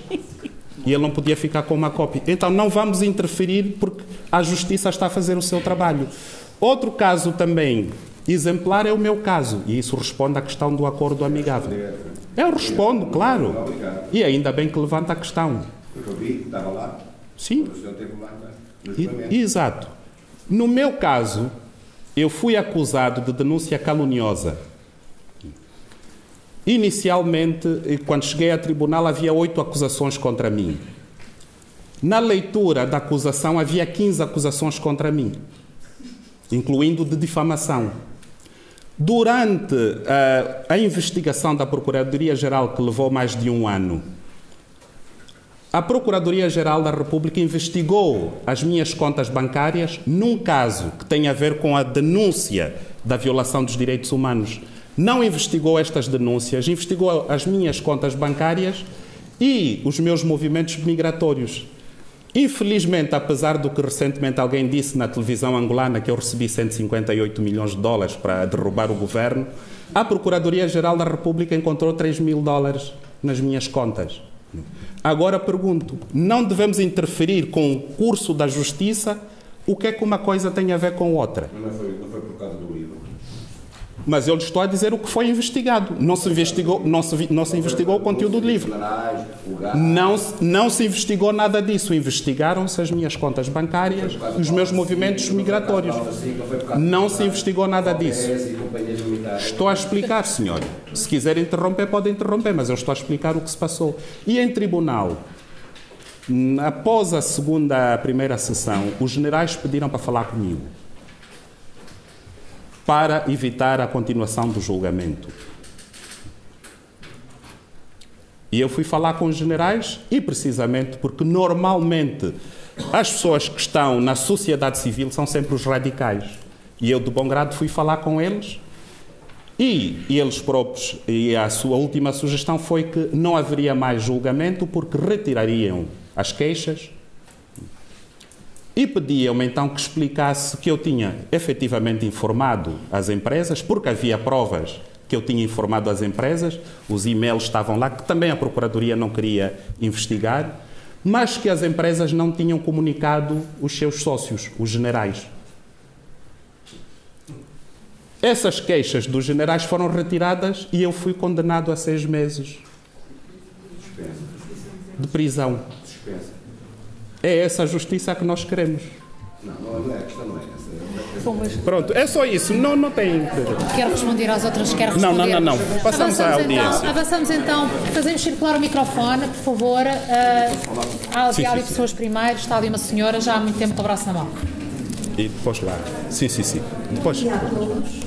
Eu queria dar os parabéns à ilustre deputada Ana Gomes, que eu muito admiro há muitos anos e tenho vindo a acompanhar o seu trabalho. Ah, também ao painel. A primeira pergunta que eu gostava de fazer à doutora Ana Gomes tem a ver se a Irlanda foi pressionada ou ameaçada de forma velada. A segunda é se, eh, dando continuidade ao que acabaram de dizer aos interrogatórios aqui em Portugal, verifica-se ultimamente, eu sou membro de um partido, eu faço parte da Casa CE, Convergência Ampla para a Salvação de Angola, ligação eleitoral. Sou a conselheira principal. Com, nesta qualidade, há informações que eu tenho, que vocês não têm, e até que não posso fazer referência. Contudo, eu gostaria de saber o que é que Portugal tem feito com uma certa invasão camuflada de elementos da segurança de Estado que circulam aqui por Lisboa livremente e, às vezes, com o apoio, isso eu não consigo provar, do SIS, perseguindo pessoas pessoas, etc, etc. Eh, no dia em que houve a manifestação da Amnistia Internacional aqui no Lar São Domingos, onde houve participação de alguns dos nossos elementos na manifestação, houve militantes nossos que foram abordados pela Segurança de Estado, no sentido de calar essas vozes. Sobre direitos humanos, eu sou de uma geração, para responder aqui ao jovem, lutou contra o fascismo, contra a ditadura colonial, era muito nova, veio de uma família de políticos desde 1910 e, portanto, eu sou uma continuação. A minha família é tradicionalmente do MPLA, cofundadores, e eu cheguei a uma altura em que disse: chega, só não mudou burro porque é burro. É burro. O país como está, nós temos a obrigação, principalmente nós, os jovens das universidades, digo já que eu sou de uma geração, depois da independência, em Angola havia pena de morte. Houve execuções públicas. Peço-lhe só que seja breve, por favor. Vou resumir. Portanto, nós temos um papel aqui a cumprir. Havia pena de morte, houve fuzilamentos públicos. Portanto, os jovens, vamos ler um bocadinho a história, temos mais é que apoiar estes eventos, estar presente, presentes e, e, e tentarmos conversar. Muito obrigada. Muito obrigada. Há um senhor na mesma fila que já estava também da outra vez. Está a falar de 27, não é? 27 de maio, fuzilamentos Vamos dar a voz a este senhor, rapidamente, por favor. Doutora Ana Gomes, Doutora Ana Gomes, muito obrigado. Aguloso, muito obrigado pela forma clarinha que adjetivaram a situação. Muito obrigado. Eh, julgo que as intervenções que aqui foram feitas demonstraram que mandamos distraídos. Agradeço a forma, mas especialmente os tiques. Demonstraram que nós portugueses andamos distraídos. Temos que nos preocupar mais com a situação de Angola. Professora Doutora Ana Gomes, peço, e na continuação do que foi dito, nós temos um dever para com Angola, para com o povo angolano. Dever histórico. E peço que nos ajude para que quando sairmos desta sala, passemos a, a mensagem. Porque este evento não foi uh, divulgado adequadamente como merecia, como merecia, porque, infelizmente, continuamos a ter aqui um manto diáfano da economia a impedir-nos de falar adequadamente, mas temos um dever que devemos propagar ao sair desta sala. O povo angolano merece. Peço as suas palavras. Obrigado. Muito obrigada. Vamos passar à senhora.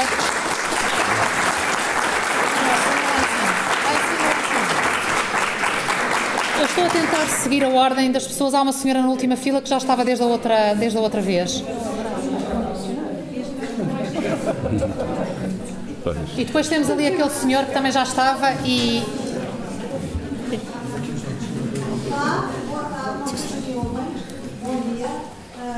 Primeiro tudo, tenho a agradecer de coração, não, tenho palavras para agradecer a todos à doutora Ana Gomes, ao Rafael Marques, ao à Baluna, que são vozes que têm voz em todo mundo. Realmente se tem preocupado com ninguém pelos direitos humanos de todo e qualquer ser humano. Portanto, isso é que é importante. E depois faço uma resenha breve, porque há muita gente aqui que acha que ninguém se deve preocupar com Angola. Eu nasci em meus pais, o meu pai nasceu em Cabinda, a minha família toda, irmãos, primos, filhos. Portanto, eu conheço Cabinda desde o exílio, acompanhei tudo, sou a par de tudo o que se passa em Angola. Portanto, eu posso falar com conhecimento próprio. E é assim, o que me interessa agora, depois de fazer essa apresentação, sou dos direitos humanos, sou uh, membro de direção da APS Casa de Cabinda, em Portugal, e sou membro também da Anistia. E é assim, a minha pergunta, que é o que mais me interessa neste momento, é saber se os ativistas de direitos humanos, se o doutor Mavum, se o doutor Arão Tempo, se os 15 jovens mais dois morrerem na cadeia, o que é que nós todos que estamos presentes vamos fazer? Segunda pergunta, a resolução do Parlamento Europeu e a Anistia também diz isso, tem, temos que arranjar soluções e todos nós aqui que nos preocupamos com o outro nosso irmão, apoiar os ativistas, os advogados e as, os familiares dos detidos que não sabemos quanto tempo vão ficar presos. Portanto, é isso que me interessa principalmente.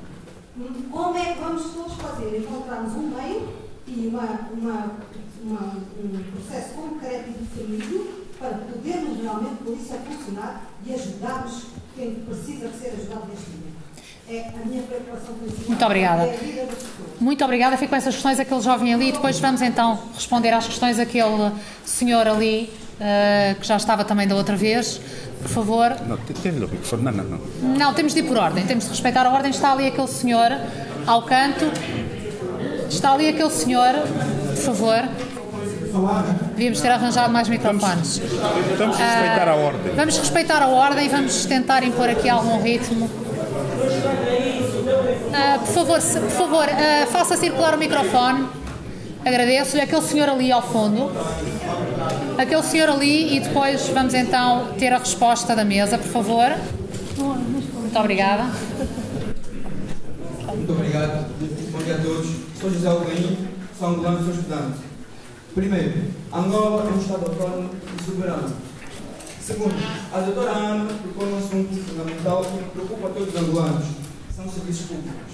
Realmente, nós reconhecemos que há muito por fazer nos serviços públicos angolanos. Ah, nós como angolanos reconhecemos esse, esse, esse, fato-. Mas também não podemos misturar a cultura de um povo com o não cumprimento dos direitos humanos. A doutora disse, e foi eh, guiada pelo doutor Rafael, se bem entendi, que esteve num, numa visita guiada pelos hospitais durante a noite, se não tem erro. Ah, como todo angolano de raiz sabe, o povo angolano é um povo unido. E se tiver um doente no hospital, os familiares deslocam-se ao hospital e ficam à porta. Não é como o português, não é como o português.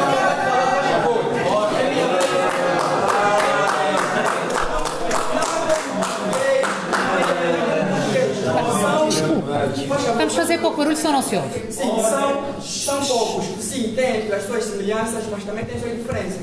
E é normal que, tendo um familiar no hospital, eu vou pôr a porta. E a questão? E a questão agora, qual é? Eu vou acabar, vou chegar lá, por favor.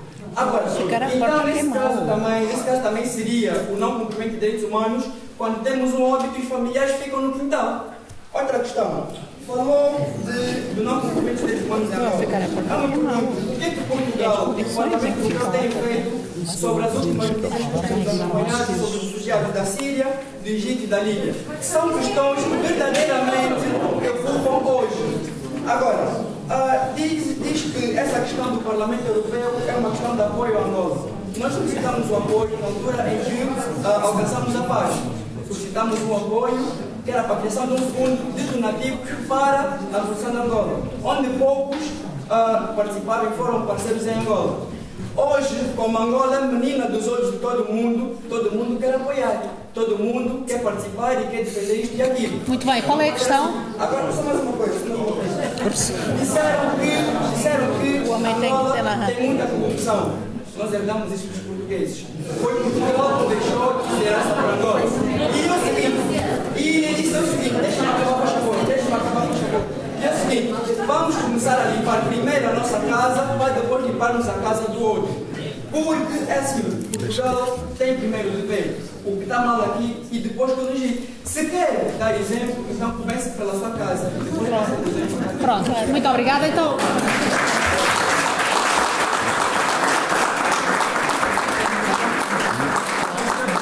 Dá mais um like. aquela assim. Só mais um senhor que Aquele- já estava à final da outra vez e depois vamos então às respostas.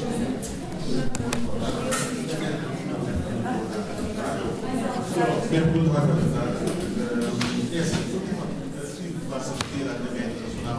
assim Tem de aproximar, tem de aproximar o microfone, por favor. assistir à TV internacional, não sei se a doutora também assistiu eh, o que se falou. E assistimos um dos deputados de Falha, em confronto com um dos eh, analistas políticos que eu muito lá temos, eh, perguntou ou disse que a doutora há muitos anos, por acaso não sabia, muitos anos também teve na amnistia falar sobre o livro que fora, certo? Ou seja, era muito amiga do MPLA, que agora, ultimamente, gostaria de saber de facto o porquê que o estão a do meu ponto de vista. acredito que foi lá, viu, viu o que, é que tem, que, é que tem, as palavras que dizem muita gente, que até o pessoal do regime, desculpa, o pessoal do regime também acredito por trás, vieram falar, está assim, assim, assim, porque não foi, não, foi por contrário, eu também, pra, já para já para finalizar, só queria saber por que eles estão a perseguir, porque pronto, antes era amiga dali, agora suposto que agora do lá, agora já não é, gostaria de saber só isso. Para finalizar, gostaria de perguntar aí ao jovem, eu vivo em Angola, estou aqui há dias, estou de férias, vou voltar também já amanhã, eu acho que não vou vir agora. Todos os dias. No momento que tu sais da tua casa, é que é todos os dias. Uma coisa, também já vim em Portugal, também há muitos anos, já pedi muita coisa. Uma, pessoa, uma coisa é estar a estudar, uma coisa é ver a comunicação social aqui, por aí fora. Outra coisa é estar lá, com isso. Eu, por acaso, graças a Deus, por acaso, trabalho por conta própria e é complicado. Eu tenho, exemplo, muitos funcionários que eu estou há, há, há quase oito meses sem poder estar. Mas, pronto, essa é outra história. Então, os direitos humanos não faz, não faz sentido. A Angola uh, assinou os acordos, assinou os acordos, sim, senhor. Mas fazer sentido de fato, foi o que estamos a falar aqui. Não quer dizer que já melhorou, já melhorou, porque eu também vivo lá. Muita coisa já melhorou, já, já não há muita corrupção, mas existe corrupção. É só isso que a falar, não é. Muito obrigada. Vamos evitar o diálogo. Vamos então ao Rafael Marques agora.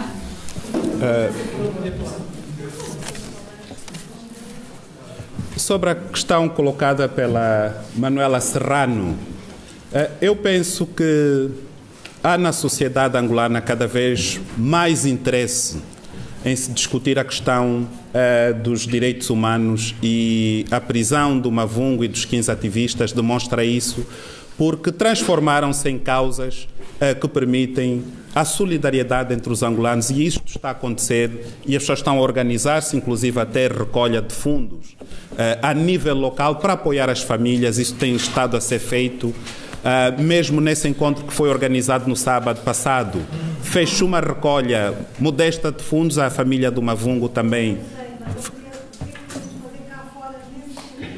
É, tudo que for feito aqui fora tem de ser em função do que for feito lá dentro, não é? Tem de ser uma extensão. Estou a explicar. Tem de ser uma extensão do movimento que se criar internamente e das iniciativas que estão a ser tomadas a nível local para que precisamente possam ser apenas um contributo, uma, um complemento eh, às vozes que se levantam internamente. A questão do e eu acredito, e quando falou na morte, ao caso, por exemplo, do Aranto Kivuvo, que tem um tumor que está a crescer a cada dia que passa, e a família tem estado a apelar às autoridades para permitirem que ele seja tratado. E a resposta que deram à família foi de que aquele tumor é um grão de arroz e que não faz mal nenhum uh, junto do umbigo e que pode ficar assim. O Nito Alves, que é o mais novo do grupo, tem 19 anos, está a ter problemas distúrbios mentais e uma das razões por que está a ter distúrbios mentais, para além do isolamento uh, de três meses, não é? estão todos em celas solitárias, tem a ver com o facto de ter sido dos jovens mais espancados, mais torturados durante as manifestações.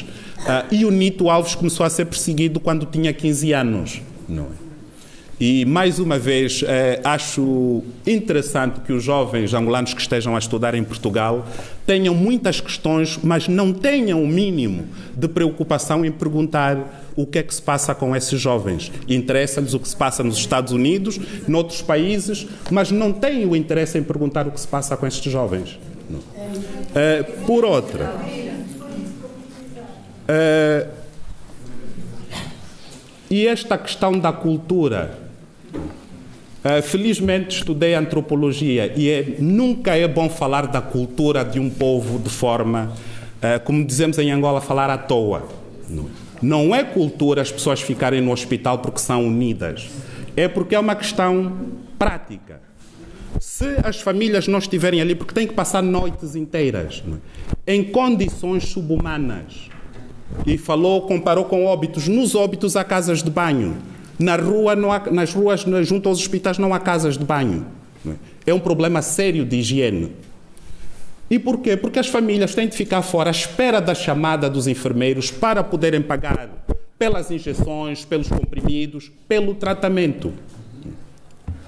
Eu próprio assisti um caso na maternidade Augusto Ngangula e eu levei a, eu próprio é que levei a Ana Gomes a, a visitar e fui eu também quem levei o New York Times e digo aqui porque era importante denunciar esse tipo de situações. Eu vi uma senhora que estava para ter o parto e as médicas disseram que não, olha, você tem que ir andar lá fora para dilatar. E ela acabou por ter a criança debaixo de uma ambulância, é? e a criança bateu com a cabeça chão, no chão porque não teve assistência nenhuma. E morreu. Morreu. Ali mesmo. Isso não é cultura angolana. São abusos. E quem chamou-me para ver essa situação foi um general das Forças Armadas. E o que é que ele faz?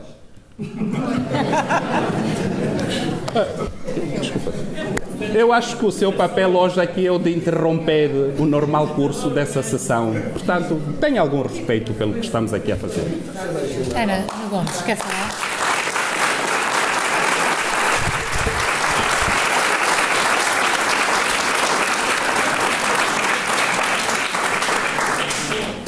Eu nunca vivi em Angola, mas fui lá várias vezes. Em criança, porque meu pai era marinheiro e eu fui com ele de barco. E já depois de adulta, porque o meu marido era, foi cônsul-geral de Portugal em Angola e depois foi um dos elementos do processo de paz em Angola. Chama-se António Franco. E muitos angolanos conhecem. Hum, quando o diplomata em Londres, na altura de, em que se faziam, estavam a negociar o processo, o, os acordos de paz, eu, Angola era um dos meus assuntos, profissionalmente, e eu tinha regularmente encontros com angolanos de todos dos dois lados. Por exemplo, muitas vezes o atual ministro Rui Mangueira, ministro dos Direitos Humanos e da Justiça, que foi meu colega em vários, em Londres e em Genebra, veio ter comigo para eu arranjar vistos para uh, Isabel dos Santos, que era filha do presidente e que às vezes se sentia ameaçada e precisava de vir a Portugal. E obviamente que o fiz sem problemas. Uh, também almoçava regularmente com o Dr. Samacuva, que era nessa altura o representante da UNITA em Londres, e tinha, encontrava, eu lembro-me, tinha relações normais com o doutor, o jovem Sousa Jamba, que nessa altura era muito conhecida, que era da UNITA. Eu não tinha nenhuma preferência, digamos, se eu tinha alguma preferência era o MPLA.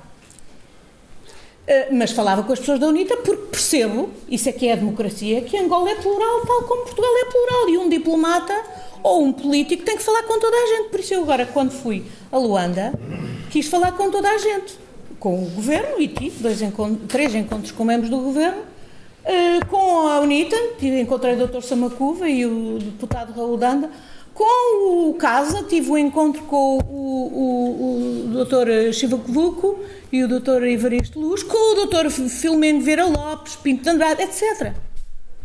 Falei com toda a gente, não tenho que ter preferências com ninguém, mas também nunca escondi que no passado, sem dúvida, tanto que como socialista, com toda a abertura, digo aqui, já o disse, que uh, fui responsável pela entrada do MPLA no, na Internacional Socialista e, obviamente, o meu nível de exigência a quem é da minha família é maior do que em relação aos das outras famílias políticas. Portanto, eu não tenho propriamente nenhuma, nenhuma preferência. Eu, o meu, o meu, o meu, a minha, eu não tenho nenhuma animosidade contra o MPLA. Eu tenho, e os meus, os meus melhores amigos estão no MPLA e com eles estive, agora até com eles, algum deles em Luanda. Mas, exatamente, não posso ter que pactuar com aqueles que no MPLA pervertem e abusam do poder e, de facto, não só entraram em esquemas de corrupção, como entraram em esquemas de violação de direitos humanos. E, portanto, eu não posso ficar calada. Hum, tem toda a razão aquele jovem que dizia que eh, a corrupção foi importada dos portugueses. Bom, todos importámos alguma coisa, sem dúvida, e eu penso que as responsabilidades do Portugal colonial são muitas em Angola. Há muitas qualidades boas dos portugueses que os angolanos assimilaram. Também há muitas qualidades más e, sem dúvida, que hoje, no mundo globalizado em que vivemos, os esquemas de corrupção são generalizados. E há uma interação entre o que se passa em Angola e o que se passa em Portugal em matéria de corrupção. É por isso que eu falo. Falo sobre a corrupção em Angola como falo sobre a corrupção aqui em Portugal. E mais, tenho a certeza que, absoluta que falando sobre a corrupção em Angola e ajudando a, a, a expor a corrupção em Angola, estou também a ajudar a expor a corrupção em Portugal, porque há uma interligação evidente. E é por isso que eu atuo. E é por isso também não é só nesse aspecto. Olha, a propósito do, deste incidente com o Dr. Alberto Neto, eu ontem mandei uma, quatro cartas ao Sr. Ministro dos Negócios Estrangeiros português, à Sra. Ministra da Justiça, à Sra. Ministra da Administração Interna e à Sra. Procuradora-Geral da República a dizer Portugal sabe, sabia disto? E sabendo, agora, se não sabia antes, agiu, exigiu pedidos de desculpa, vai atuar contra estes agentes do Estado angolano que obviamente violaram a soberania portuguesa? Vou ficar à espera da resposta, a, a, a carta só se deu ontem. Mas eh, vai, vou publicá-la. Ah, cultura do povo. O Rafael já respondeu uma parte, mas cultura do povo até pode acontecer que são, não, não sei, eu não sou, não tenho pretensões de ser uma conhecedora de Angola como muitos, como a maioria das pessoas aqui nesta sala é. Mas cultura do povo, até pode ser que haja essa cultura de estar à porta dos hospitais. Mas o problema é justamente as condições em que estão à espera dos hospitais. Porque se o dinheiro vai para grandes obras, prédios que estão vazios em Luanda, torres, construídas torres que estão a ser construídas roubando a, a, a, roubando a, a, prodigiosa Baía de Luanda, fazendo aterros na prodigiosa Baía de Luanda, coisa que é um absurdo em todos os sentidos. E depois não há dinheiro para fazer uns telheiros e umas casas de banho para as famílias que eventualmente tenham essa cultura, alguma coisa está muito mal. Fui visitar, por exemplo, durante a noite, o, não, respondo àquela pergunta, não me senti uh, ameaçada em Luanda. Uh, nem, nem, fui, nem fui restringida de alguma maneira, não me senti. Uh, muitas vezes também depende da nossa cabeça. E por isso, num dos dias, à noite, fui dar um passeio de quatro, com, numa carrinha com quatro jovens angolanos maravilhosos que dão apoio às crianças da rua de Luanda. E fui com eles sozinha, é um projeto financiado pela União Europeia, uh, percorrer vários pontos onde falamos com miúdos de rua que estão ali, que fazem pescados, que levam as compras e não sei o quê, que recebem o dinheirito e que, e que estão sozinhos. E no dia seguinte fui visitar o padre Jansson, onde alguns, os mais novinhos, conseguem eh, depois ir e ter alguma.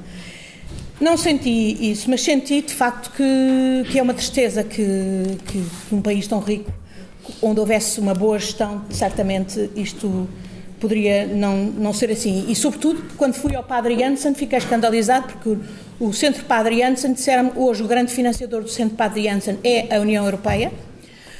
No entanto, o governo angolano não põe lá nem um chave, estamos a falar de um centro que acolhe crianças de rua, o governo angolano não, tem, não, acolhe, não, não põe lá nem um chave, não, o Ministério da Segurança Social angolana não se coíbe de mandar para lá crianças quando as encontram, em, até em pequenos roubos ou coisa assim, manda-as para lá. Não há nenhum serviço do Estado que possa acolher as crianças de rua e dar-lhes apoio. Não há um Estado do Estado posto nesta instituição Centro Padre Janssen. Alberto Janssen. Hum, hum, termino só dizendo isto: não pode ser cultura, não pode ser cultura do povo angolano, nem nenhum povo, não querer saber o que é que se passou no Monte Sumi.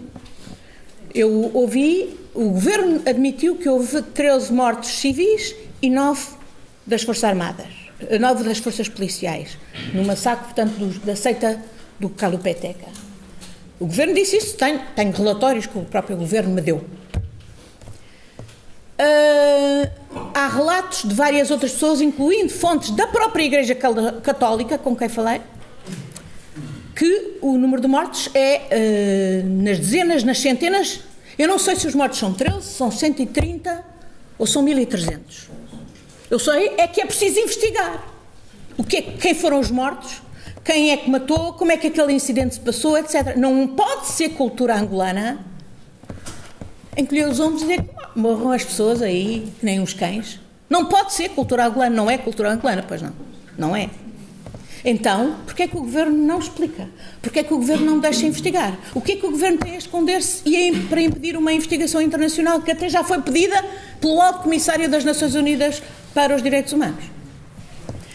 Eu não vi o debate uh, da TPA, que me disseram que houve, ainda bem que houve, é um bom sinal, é um sinal que de facto a resolução do Parlamento Europeu teve impacto em Angola e está a obrigar as pessoas a discutir isto, ao ponto da própria TPA Disseram que foi pela primeira vez que a TPA fez um debate desse, inclusivamente chamou o Dr. Samacuva da UNITA e o Dr. Chivuk Vuk para estarem presentes, portanto é um bom sinal. Sinal de que, olhem, aí está uma resolução que mesmo o governo dizendo que não a aceita, acaba por perceber que ela tem impacto. Uh, o que eu posso dizer, para terminar, é isto. Eu não sou contra os negócios. Pelo contrário, eu sou a favor de negócios que são bons para a economia angolana e portuguesa. Sou contra os negócios sujos, sejam em Angola, sejam em Portugal. E, portanto, é exatamente contra os esquemas corruptos que, que são danosos para o povo angolano, tal como são danosos para o povo português, que nós temos que absolutamente exigir transparência e exigir cultura de respeito pelos direitos humanos, designadamente dos próprios empresários. Porque muitos dos que se vieram queixar-me amargamente da situação são empresários angolanos e portugueses.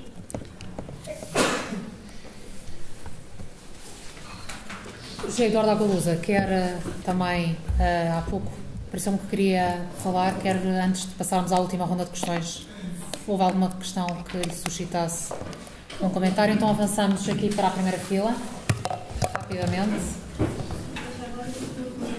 Muito bom dia a todos.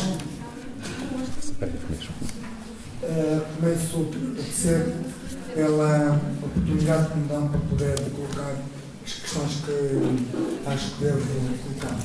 Uh, em primeiro lugar, eu devo dizer, aliás, chamo Pedro Santana, uh, sou militante da Casa CE, cá em Portugal, mas não estou aqui em nome da Casa CE, não vim representar a Casa CE. Estou aqui na qualidade de cidadão e como angolano que sou, porque penso que é um dever legítimo e moral que me assiste. Uh, antes de eu endereçar a pergunta para os interlocutores, a minha pergunta agora centra-se para os meus concidadãos. Para lá.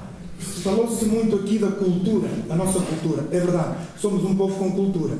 Agora, se a nossa cultura centra-se na cultura de perseguição, de intimidação, em quem tem opinião diferente, hum, enfim, e demais coisas que já sabemos, perante essa narração toda que nós ouvimos aqui, a minha pergunta é: quem é que está contente com tudo aquilo que se passa em Angola, que seja o primeiro a levantar a mão e eu me retiro?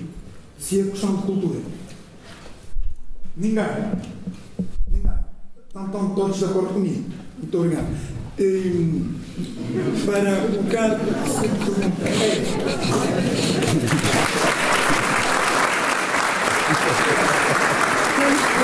São complicadas. Eu devo, breve, devo dizer, se há angolano resultado aqui nesta sala, este angolano sou eu. Em julho do ano passado perdi a minha irmã porque não tivemos mil dólares para salvar a vida daquela malograda doente que se foi embora, vítima no Hospital do Prenda, que é um hospital, segundo a propaganda da, da, da, TTA, que é um dos melhores hospitais do país. A minha irmã foi-se embora. Hoje não tenho ninguém. Sou o único filho, não tenho irmão, não tenho ninguém. A minha família são os meus filhos. Esta é a cultura que nós queremos. Pronto.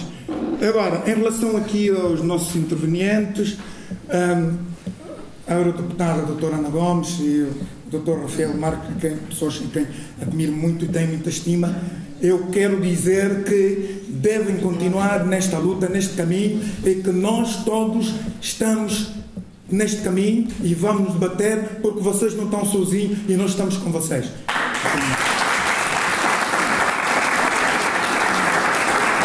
Há aqui, aqui esta senhora e depois uma outra senhora ali e depois uma outra senhora.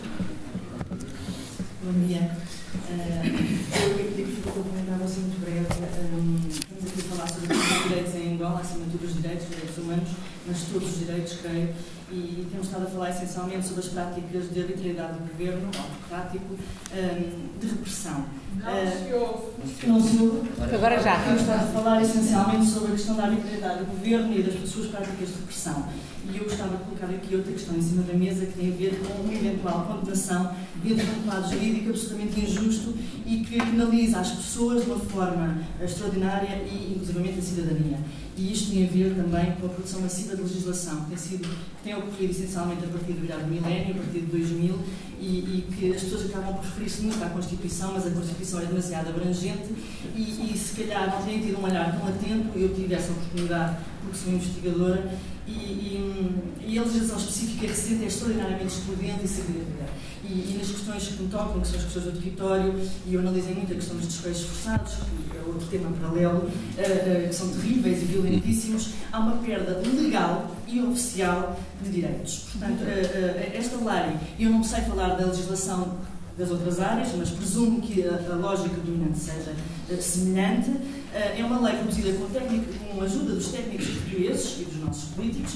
Os angolanos recorrem muito, recorrem-se muitos portugueses para os ajudar a, a, fazer essas leis. Muitos desses técnicos são desconhecedores da realidade angolana ou, ou, ou, até são coniventes com as intenções e as estratégias do governo.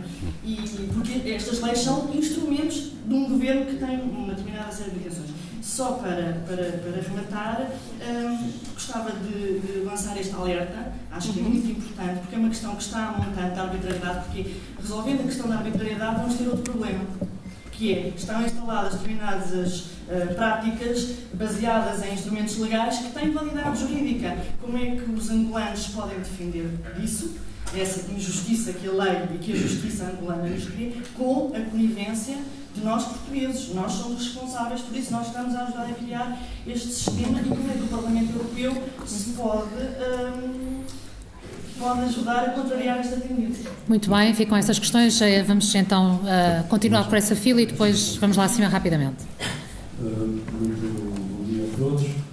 Eu levantei-me às quatro e meia da manhã para estar aqui. Venho do norte, na fiel, onde não estão amigos, Uh, e tenho aqui uh, muitas pessoas que estão na mesa que merecem o, o meu respeito e a minha admiração.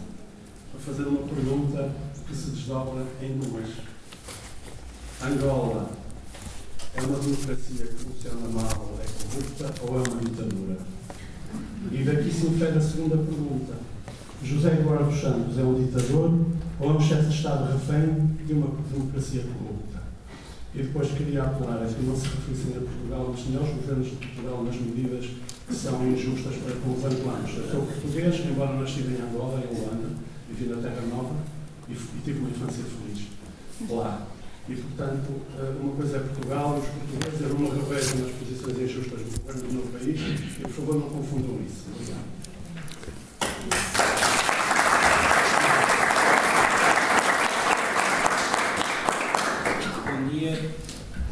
Bom dia, o meu nome é Manuel Coutinho, sou cidadão português e saúde desde já toda a mesa e esta, este, esta conversa que a Amnistia Internacional promoveu aqui, sou ativista também da, da Amnistia e acho que qualquer cidadão português tem de estar atento às, às manifestações contra os direitos humanos que existem por todo o mundo, mas principalmente com o povo irmão como é, como é Angola. Uh, a pergunta que eu queria fazer era principalmente para a Eurodeputada Ana Gomes, com a experiência política que tem, com a vida política que tem em Portugal. Uh, se Portugal, administrativamente e economicamente, não está a pactuar com Angola a partir do momento em que recebe de braços abertos fundos e, e, e capital que vem da família de José Eduardo Santos. Se não estamos a, a aceitar, de certa maneira, com uma certa ingenuidade que não sei se não é. Uh, se não é. Acho que ficou o essencial da sua sim, pergunta. Sim. Acho que se percebeu. Muito obrigada. Vamos então lá acima, rapidamente. Ah, não, peço desculpa, peço desculpa. Acabamos aqui esta fila com esta senhora. Com esta senhora. Uh, meu nome é Diana Andringa. Não tinha pensado em intervir, mas algumas das intervenções dos jovens posso não estar de acordo, mas compreendo levar-me a dizer alguma coisa. Eu só tenho uma pergunta para fazer, mas permitam que diga alguma coisa antes.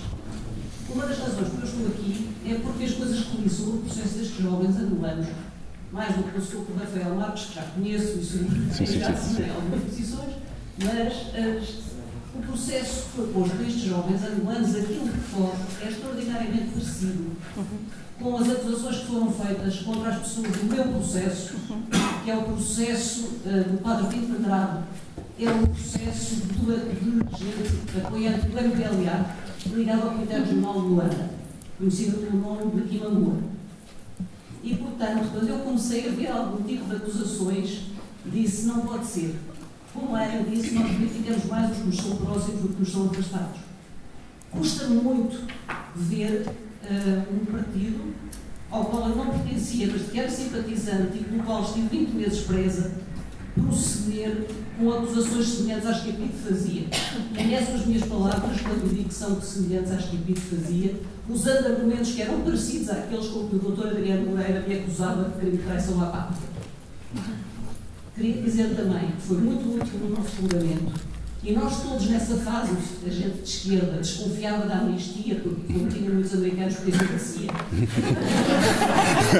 Extremamente útil a presença de membros da amnistia, a presença de membros da Liga Internacional de Direitos Humanos no nosso julgamento e provavelmente impediu que as penas que apanhámos, e eu fui das que apanhei das mais ligeiras, e infelizmente houve camaradas que apanharam muito mais fortes, se tornassem conhecidas. E nessa altura, e nessa altura o MPLA apelava no estrangeiro à solidariedade connosco.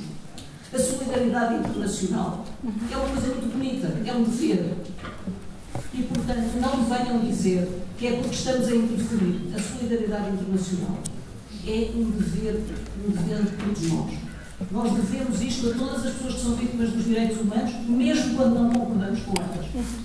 A questão é essa. Eu não sei o que é que defendia aqueles jovens angolanos, exceto que estavam reunidos porque queriam fazer uma manifestação pacífica e são acusados de tentativa de golpe de Estado.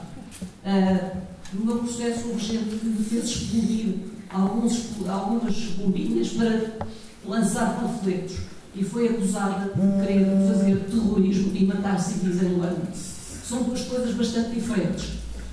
Uh, e é em nome desse passado que eu acho que, desculpem vir aqui dizer isto, é sim, esta gente que está aqui tem direito e o de intervir. Não levem isso como interferência no, em Angola, não levem isso como ataque ao MPLA, levem isso como solidariedade internacional. Aquilo que nós sempre defendemos e que eu acho que devemos continuar a defender.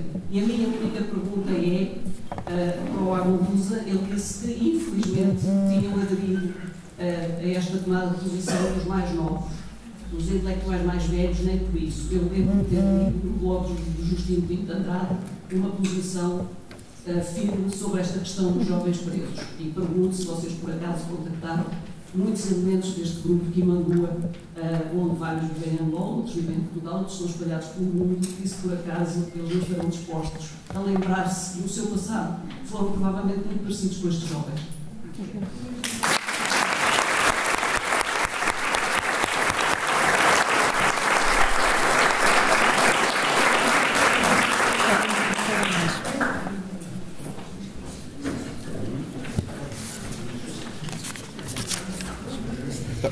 Temos ali, temos então ali, entretanto, aquele outro senhor, por favor, ali, ali, ali, aquele senhor.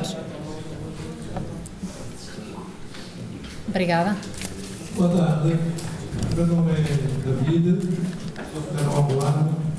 Eu prestei muita atenção à intervenção do, da doutora Ana Lopes e do, e do doutor Agardosas e do, do outro cidadão Rafael Marques Falou-se muito em ajudar em Angola. Falou-se muito que queremos ajudar Angola, queremos ajudar Angola. Quando Angola alcançou a paz em 2002, Angola solicitou uma conferência de doadores para ajudar o país a ser reconstruído.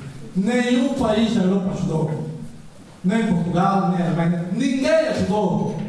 Hoje que Angola está a trilhar, mesmo com as suas dificuldades, está a trilhar alguns sucessos, já quer ajudar já que criar decisões na mente das pessoas. Quando solicitávamos a conferência de doadores, ninguém levantou para ajudar. Fica também patente para quem quer ajudar agora. A outra questão é a seguinte: o, doutor Rafael Marcos, uh, que tem andado pelo mundo a falar sobre a de Angola, é bom também que relate a história de Angola, o percurso de Angola. Como é que Angola alcançou a paz? Havia, havia, havia angolanos do outro lado da rebelião. Foram perdoados. A guerra em Angola não foi através da dor do pai. A guerra, a guerra em Angola não terminou através da dor do pai. O líder dos rebeldes morreu. O presidente da República de Angola, a Constituição angolana permitia a pena de morte O presidente de Angola em nenhum momento disse que vamos fazer algo contra os homens antigos, famosos irmãos. E a questão é? Vou fazer a questão, sim. Tragam, tragam-os cá para Luanda e fazem a posição aqui no Luanda. A minha questão do Rafael Matos é saber se ele tem relatado também o percurso histórico de Angola. E quem foi o grande arquiteto da paz. E outra questão também do Rafael Matos é a seguinte. Para terminar, Ah, rapidamente, rapidamente, por Há favor. uma questão que o doutor Rafael Matos tem falado sobre a corrupção em Angola. Nós temos noção que em tempos houve uma avioneta que caiu em Angola e tinha dirigentes portugueses. E esses dirigentes pertenciam a um partido que acho que é o PS, o PS não tenho certeza, mas acho que é o PS, não tenho certeza, estou só de Há outra questão também para a doutora. ah, ah, Bom, temos Já, já- já não temos tempo. Doutora Ana Gomes. Ah, tem, tem-se dito que agora não há liberdade de expressão. Se for para a Baixa de Luanda, há jornais a criticar o Presidente do Povo, há jornais a criticar o MFLA. Pergunto, aqueles jovens estão perseguidos? A doutora Ana Gomes também pode, vai perseguida, disse aqui não. O Rafael, o Rafael Alves está aqui. Fale,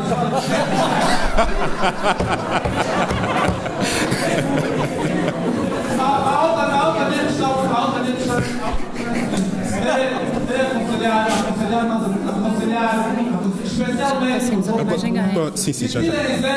como a Síria, o Iraque os outros países. Eram conferências desse que sim, Muito obrigado. Já, já, já, já. já. Uma última questão ali para aquele senhor, por favor. Este senhor aqui da. Este senhor, este senhor estava primeiro, este senhor aqui estava primeiro. É aquele senhor ali. Bom, mais, era aquele senhor ali, mas tudo bem. Chamo-me Samuel Candinho, sou estudante eh, em Portugal e gostaria de relembrar ou ensinar todos que não sabem que é um país novo, cronologicamente comparando a, a, a um ano, Angola seria considerado um bebê. Logo estamos a aprender a andar. Por favor, deslavem das mãos, suas coisas. A questão que eu tenho para colocar é que outro país em África, nas condições em que Angola esteve, condições essas que tiveram a ver com uma guerra civil de 20 anos, que desalou muitas famílias, eh, que outro país ofereceu, eh, depois da paz, aos nacionais, não, não só aos estrangeiros também, condições de estabilidade que Angola foi capaz de oferecer nesses últimos anos. Isso é uma questão que eu agradecia que fosse respondida. Outra questão é, tem sentido andarmos a falar de especulações relativamente à sucessão de poder em Angola? Eu acho que não. E para mim isto faz-me perder a credibilidade desta conferência. Foi algo oficial? Foi algo oficial em Angola? Não foi. Então não nos pronunciemos, favor. Muito obrigada. Eu faço, eu faço, eu faço, eu faço um apelo, a- faço, eu não se dê importância àquilo que, àquilo que é dito fora das nossas fronteiras.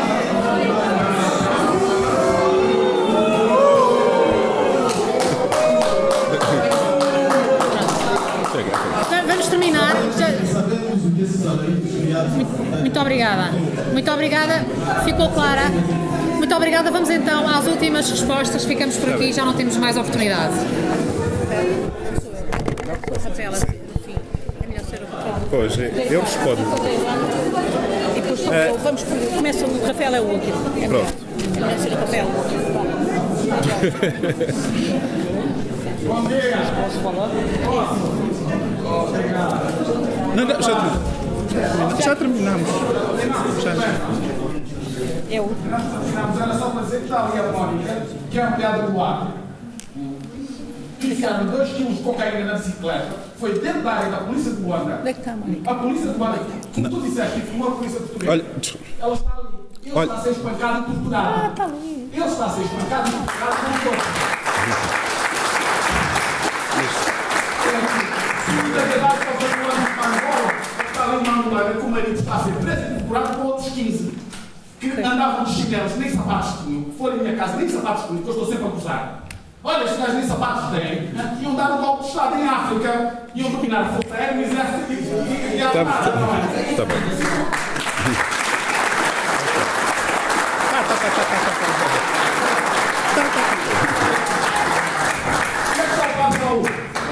Onde é que está o Padre Raul? Olha, desculpa.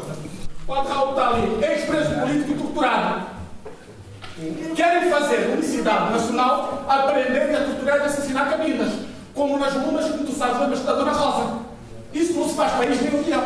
Não é assassinar, não é aprender, não é roubar. E eles estão aqui. Por isso, isto não é cultura. Cultura angolana é o bem comum. São crioulos, pá. Obrigado. Olha, olha, desculpa. Foi, foi espancado na rua, toda a gente sabe disso.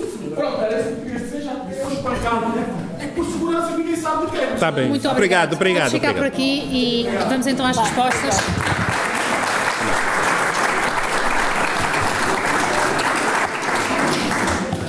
Bem, vou tentar, vou tentar responder algumas questões. Queria, antes de, antes de responder essas questões, queria dizer que é, é bom ah, não, não, não, não ficar mais alto. Mais alto. Ok? Mais alto. Mais alto. Mais alto não consigo. Ah, queria, vou tentar responder algumas questões. Queria só dizer antes disso que é, é bom haver esta plur- pluralidade de opiniões e ver as pessoas aqui a discutirem. É isso que a gente quer em Angola também, não é? Verdade que ah, ah, a esse nível eu creio que ah, as coisas estão ou evoluíram até um certo momento. É, vou passar já a responder à sua questão até, porque a- até a prisão destes jovens, concretamente, eu a- a- até podia acreditar que estávamos numa situação de uma democracia incompleta ou de uma democracia cheia de doenças, mas a evoluir para uma democracia plena. A, a- a questão é que, até, inclusive por isto, porque havia realmente debates em Angola, eu participei em debates em Angola e há jornais em Angola com colunistas, eu próprio assino uma coluna no jornal angolano, e é possível exprimir opiniões e, portanto, eh, podíamos pensar, não, é, um- é uma democracia cheia de problemas, é uma democracia ainda muito frágil, mas a caminho de um, enfim, a ca- a caminho de uma democracia plena. A questão é com- com a prisão destes jovens tudo mudou. Eu não conheço democracias com presos políticos. E são presos políticos.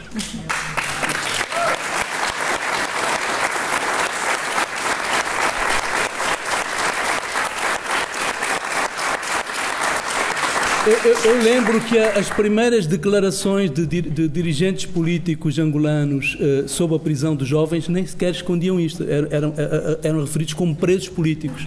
A seguir foram referidos como políticos presos. E depois já não sabia muito bem o que era, eram detidos. Finalmente, inclusive, en- encontraram uma expressão muito bonita que eram retidos. É a última expressão que está em voga agora, é retidos. Eh, enfim, eh, são presos políticos e não se demo- não se faz não se constrói uma democracia com presos políticos. Eu acho que é até de um ponto de vista estratégico é um erro enorme que o partido no poder e que o presidente Eduardo Santos está a cometer. Não faz sentido não faz sentido. Se o MPLA se o presidente José Eduardo Santos pensa em ir a eleições o que está a fazer é um erro enorme. E aí avanço com a segunda questão, que é a questão da, de- deste movimento de solidariedade com os jovens angolanos, que realmente cresceu muito, cresceu muito e que está a, a abarcar eh, círculos, inclusive, muito próximos do poder angolano.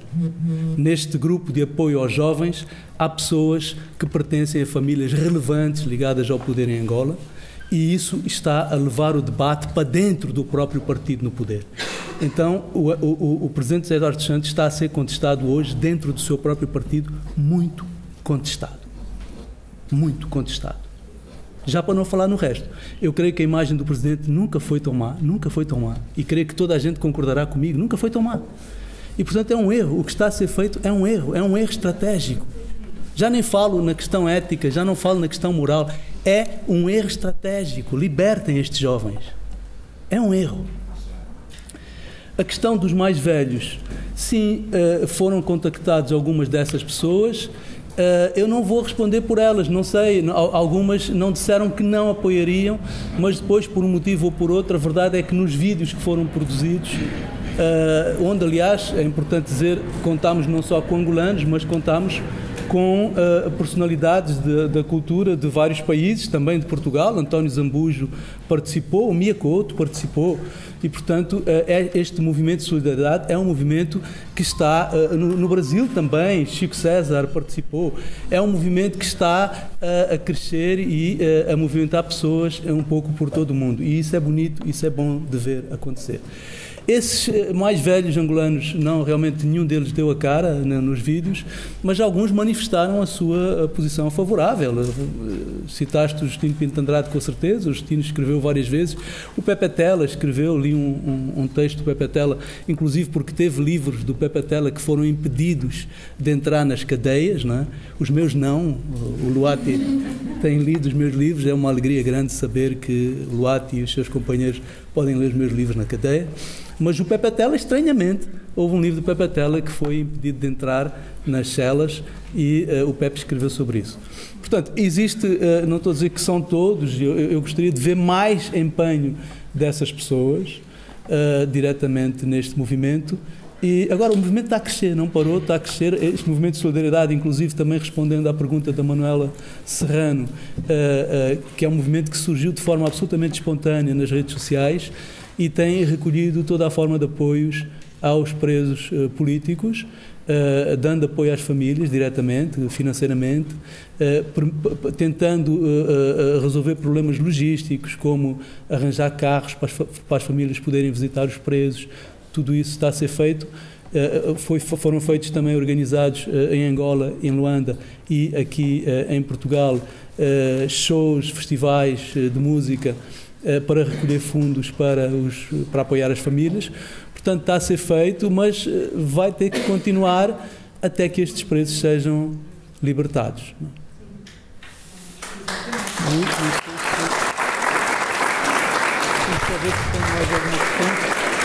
Ah, depois já esta questão que muitas vezes também escuta esse argumento mais uma vez, ah, em Angola, sim, é, é, foi o único país em África que conseguiu resolver problemas de guerra e uh, integrar os, os antigos oposicionistas. Não é verdade. Primeiro, não é verdade, não é?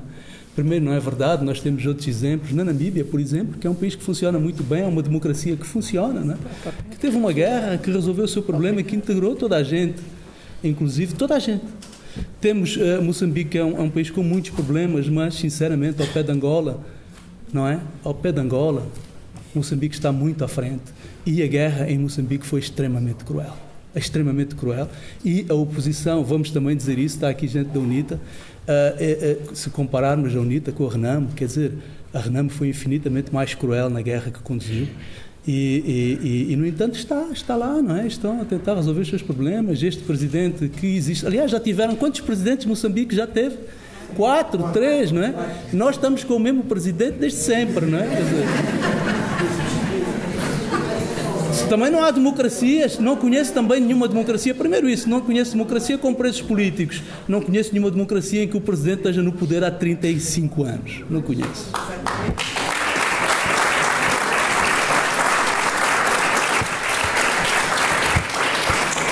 A paz, a paz em Angola foi. Eu, como diplomata portuguesa, trabalhei pela paz em Angola.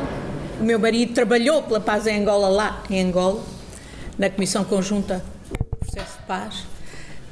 Um, depois, e foi bom, e foi uma promessa de democracia. Uh, a democracia, claro, tem razão, é incipiente a princípio, a democracia ninguém é perfeito e vai-se construindo, e nós em Portugal também ainda estamos a construí-la e ainda temos muitas insuficiências e muitos problemas.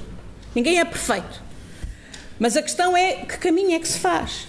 E durante algum tempo houve promessas, de facto, no bom sentido, em Angola e de repente as coisas começaram a andar para trás e mais acentuadamente nos últimos tempos. Uh, F... não é verdade que a comunidade internacional não tenha querido ajudar Angola. Inclusivamente houve muitas diligências, e eu como diplomata sei, para haver nessa altura um empréstimo do FMI ou do Banco Mundial a Angola.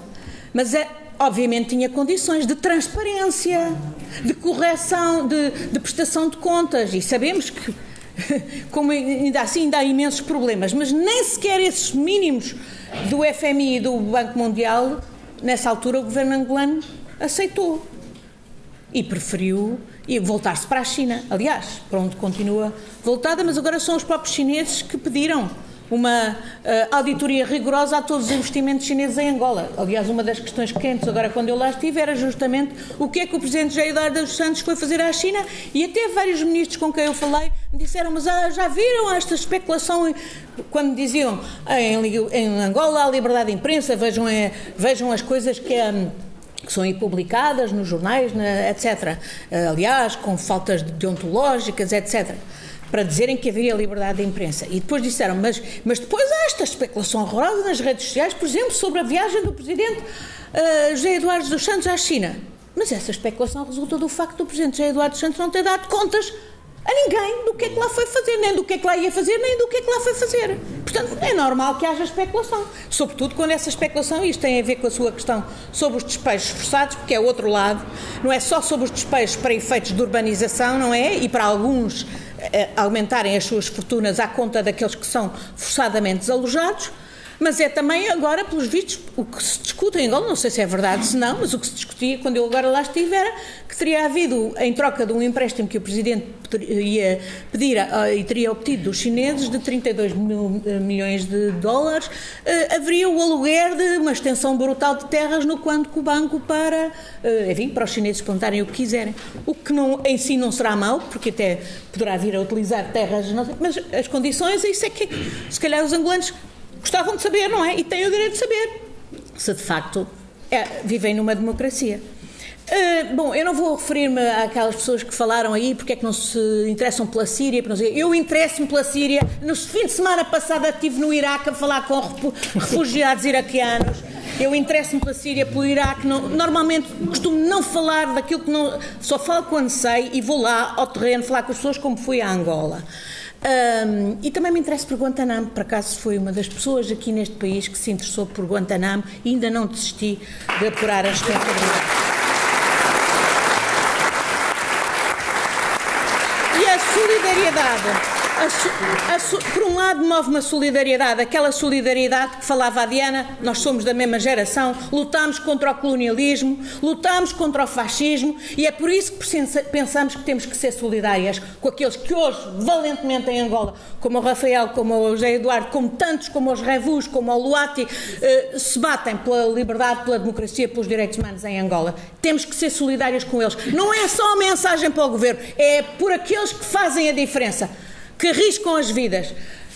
É democracia mandar os cães sobre as mães dos revus, como aconteceu no dia 28 de, 8 de agosto. 8 de agosto. É democracia fazer aquilo, é um comportamento democrático.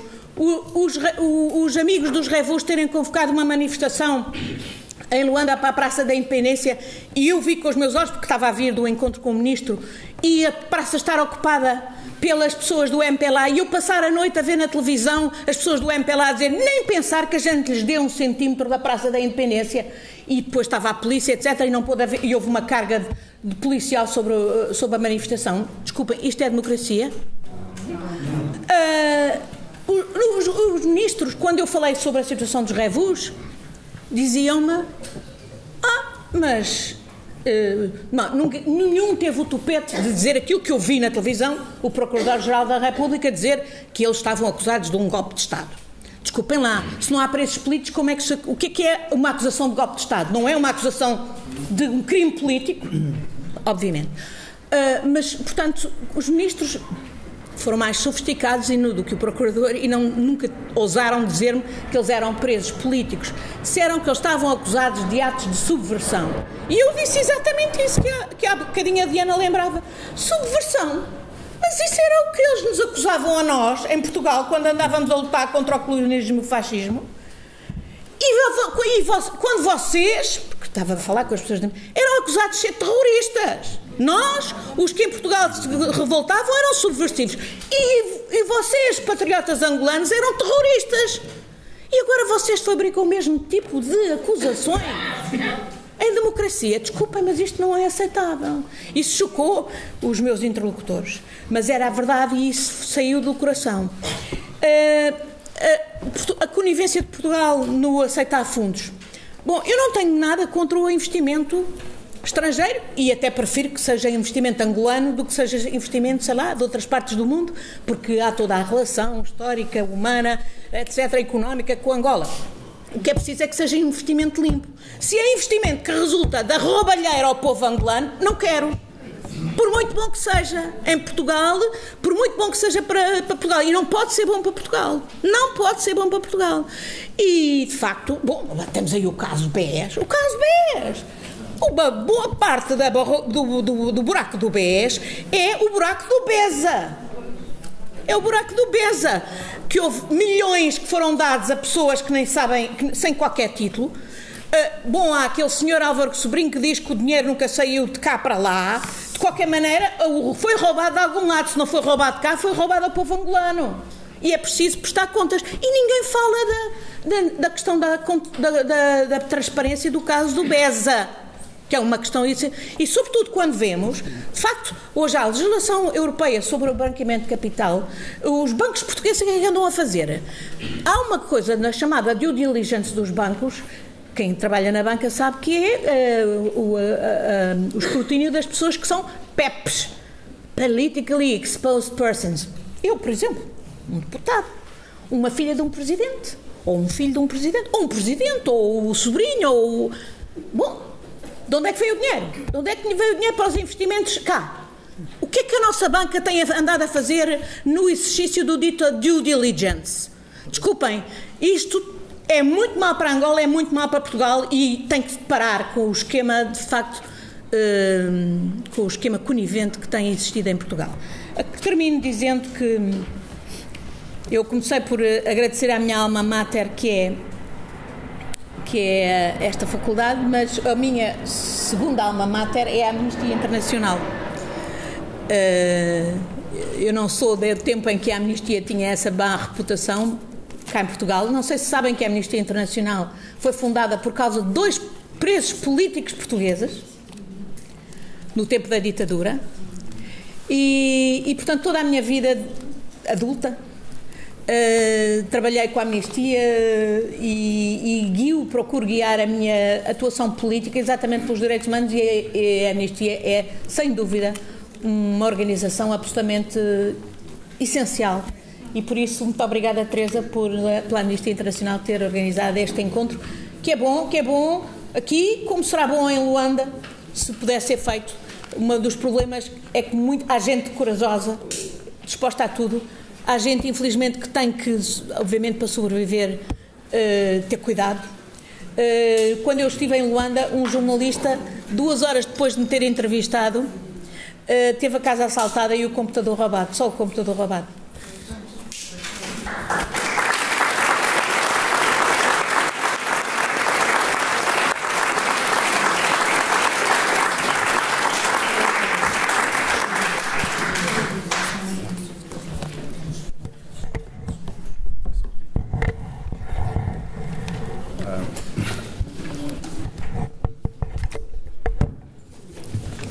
Em relação à Praça da Independência, há um dado curioso. Uh, o MPLA formalmente ocupou a praça para manifestações até novembro próximo.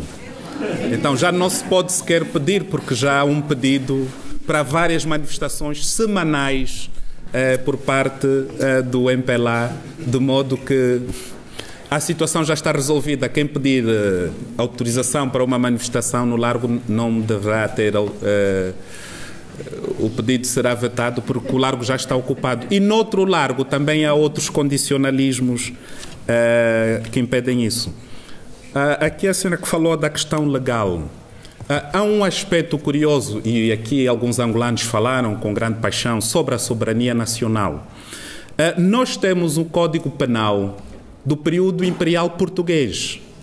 E somos um povo soberano. Herdamos também isso dos portugueses. Mas por que é que não nos livramos dessa herança?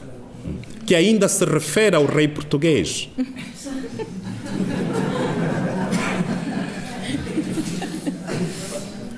Uh, outra questão interessante quando fala sobre os direitos, a própria Constituição angolana é uma Constituição que suspende os direitos é porque tem uma linguagem de criação de condições para o exercício desses direitos. E é um dado que normalmente Uh, nós tivemos vários especialistas portugueses, porque os angolanos, os especialistas angolanos não nos conseguiam explicar o que, é que era a Constituição.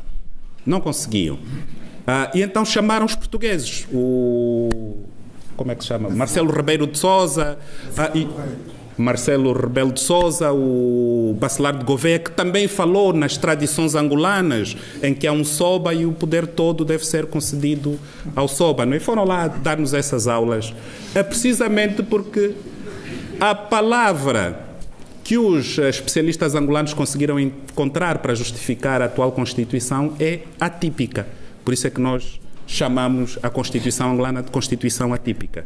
E alguém também, eh, eu acho sempre graça aos eh, nossos eh, estudantes em Portugal que são enviados pela JMPLA para esses debates, porque às vezes vêm muito mal preparados em termos de questões. A Constituição angolana ou a Lei Constitucional de 1992 não previa a pena de morte. Portanto, não houve um indulto ou um perdão por parte do presidente, porque a pena de morte foi abolida nos anos 80. É só para prestar esse esclarecimento, porque eleva o debate se vierem melhor preparados para tal.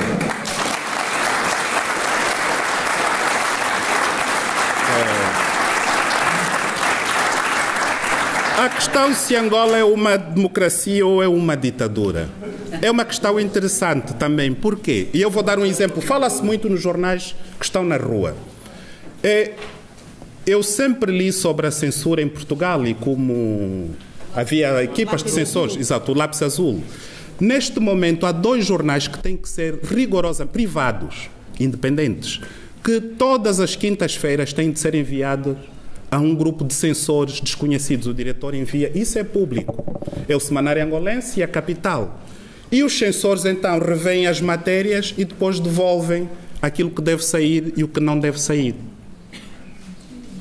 É a atual democracia que nós temos.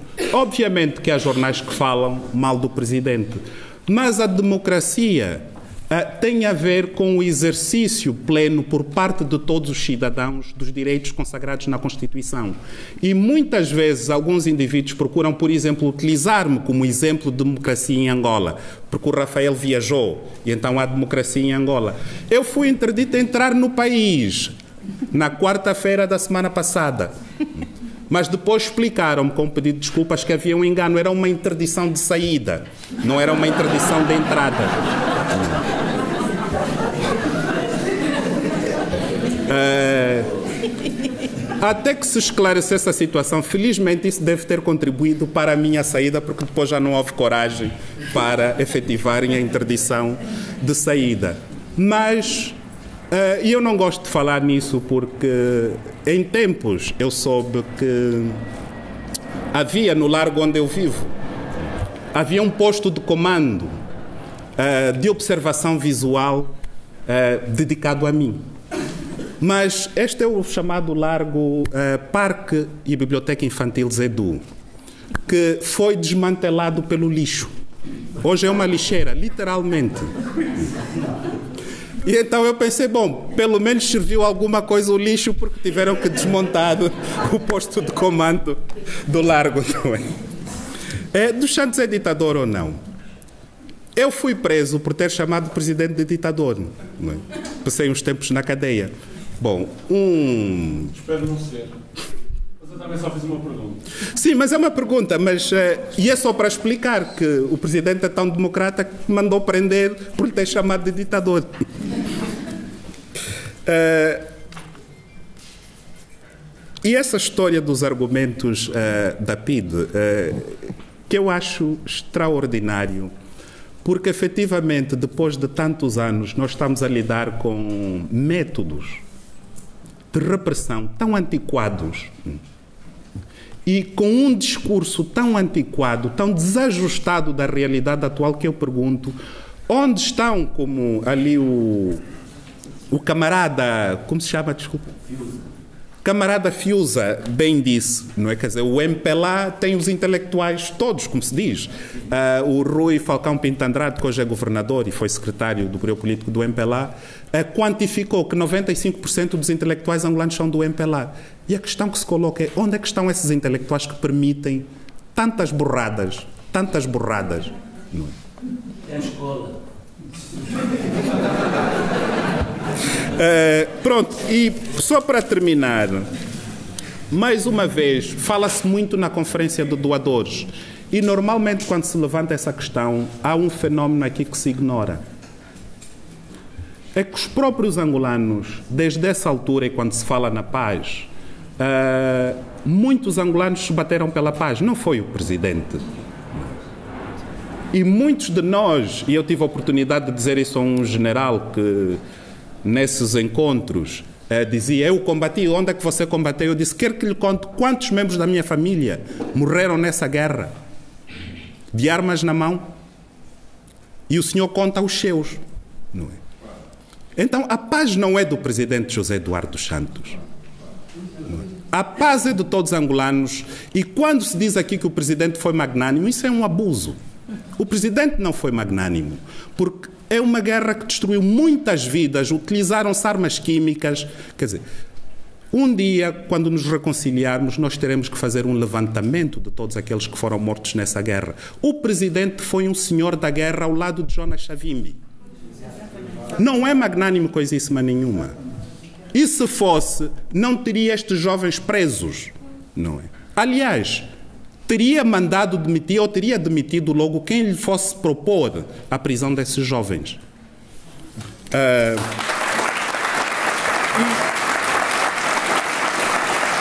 e, finalmente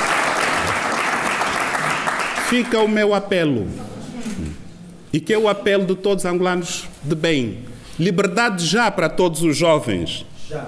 já. Liberdade. Já. Liberdade. Já. E eu peço também aqui à esposa do Luado que diga, uh, que venha até aqui e também se junta a nós a pedir liberdade, não só pelo seu esposo, mas por todos aqueles que se encontram detidos e que são efetivamente presos políticos. É? E só para dar um exemplo, quando a polícia foi à casa do Luati buscar todo o material, a Mônica é fotógrafa. Todo o material da Mônica foi levado. E até hoje não devolveram. Tá Bom dia a todos. Um, antes de, de, falar eh, de liberdade já gostava de. Faz favor, só que me tirassem. Uh, gostava só de, de, dizer aqui uma coisinha que eu tenho, que são os 10 princípios do pioneiro do MPLA. Eu vou recitar os 10 hum, princípios é, é muito, é muito, rapidamente. Não é preciso, basta um. Uh, só um? Ok, Sim. vou então citar o, o, o, segundo. O pioneiro do MPLA critica uh, fraternalmente os erros dos camaradas e aceita a crítica dos seus próprios erros. Uh, isso é um manifesto uh, pronto, de 74, 75 talvez 76, não acredito que seja em 77.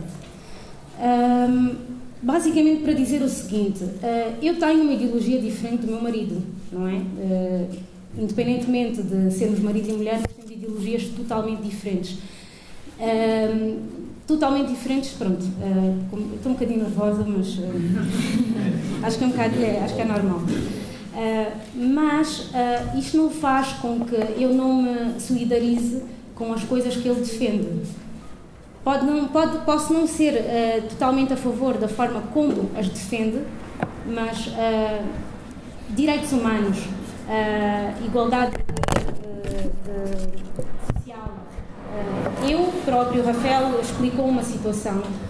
felizmente, eu sou de uma família que, que como se diz, privilegiada em Angola. Eh, posso ir às clínicas, posso me tratar aqui em, em, Portugal, posso me dar o luxo de vir cá eh, de férias uma semana uh, e tenho dupla nacionalidade.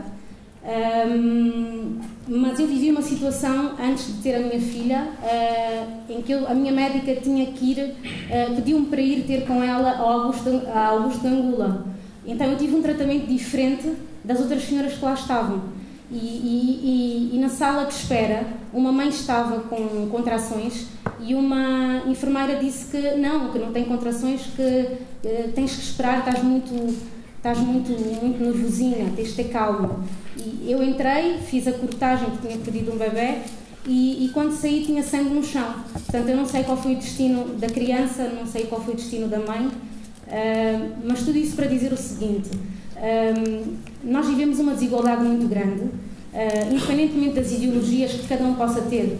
eu sou partidária uh, independentemente das ideologias que cada um pode, possa ter, eu acho que tem que solidarizar é pelo lado humano. Eu vou explicar o porquê. Porque uh, uh, foram detidos no dia 20 de junho 12 jovens, na qual, nas quais dois deles tinham ido pela primeira vez ou segunda vez. foi pelo mero acaso. Ele podia, estar, podia ter sido eu, o meu marido dizer, olha, vamos a uma palestra. E eu vou à palestra e estamos ali a discutir e vou presa também. Eu e o meu marido. Ficamos sem a bebê. Portanto, Uh, poderia ser qualquer pessoa. Isto é solidariedade. Qualquer pessoa poderia estar ali, em pleno do seu exercício. Está na Constituição, Lei 47, artigo 47 da Constituição da República de Angola. Manifestar. Depois, outra coisa que eu reparo muito aqui em Angola, quando se fala de manifestações, eu falo, vou falar no meu seio familiar também, uh, meu pai e minha mãe, mais diretos, quando, se quando falávamos, falávamos de manifestação, uh, uh, pensavam logo que eram queimadas, barricadas, essas coisas. E, e, e, e, não é bem assim, não é? Porque manifestação, as pessoas vão à rua porquê? Porque querem ser ouvidas. Não têm um espaço em algum sítio para serem ouvidas, então vão à rua para serem ouvidas. E são brutalmente reprimidas. Brutalmente reprimidas. Um, eu lanço o. Um, para já agradeço a toda a gente que está aqui, uh, aos que apoiam e os que estão contra, que estão, estão visíveis um, que assim, isto pode ser para qualquer pessoa. Um membro da sua família pode ser preso amanhã. E só depois é que acordamos. Nós só depois acordamos quando nos toca a nós. Percebe? Então é assim, eu uh, e o Luati temos ideologias diferentes, temos formas de agir de, de, de, de luta diferentes. Eu, eu, sou mais pacífica, eu gosto de estar mais. Uh, não, não, não gosto de bater de frente mas uh, a partir do momento em que entraram na minha casa com armas em pá, só estavam duas senhoras e uma filha, a minha filha, eu, a empregada e a filha, e fazem um, aquele aparato todo em casa, eu acordei e disse, opa, então, agora, pronto, ok, bateram na cabeça do Luati, ok, puseram cocaína na, na roda dele, mas nunca me tinham atingido a mim uh, uh, diretamente. Tiraram o meu meio de, subsistência, não é? que é, o meu que, é, que é, são as minhas máquinas fotográficas, é o meu computador, eu sou fotógrafa, e então atingiu-me a mim e eu acordei. Então é assim, eu, eu, eu espero que não, não, não, não, não, não esperemos que nos atinjam a nós para acordarmos, porque isto é solidariedade.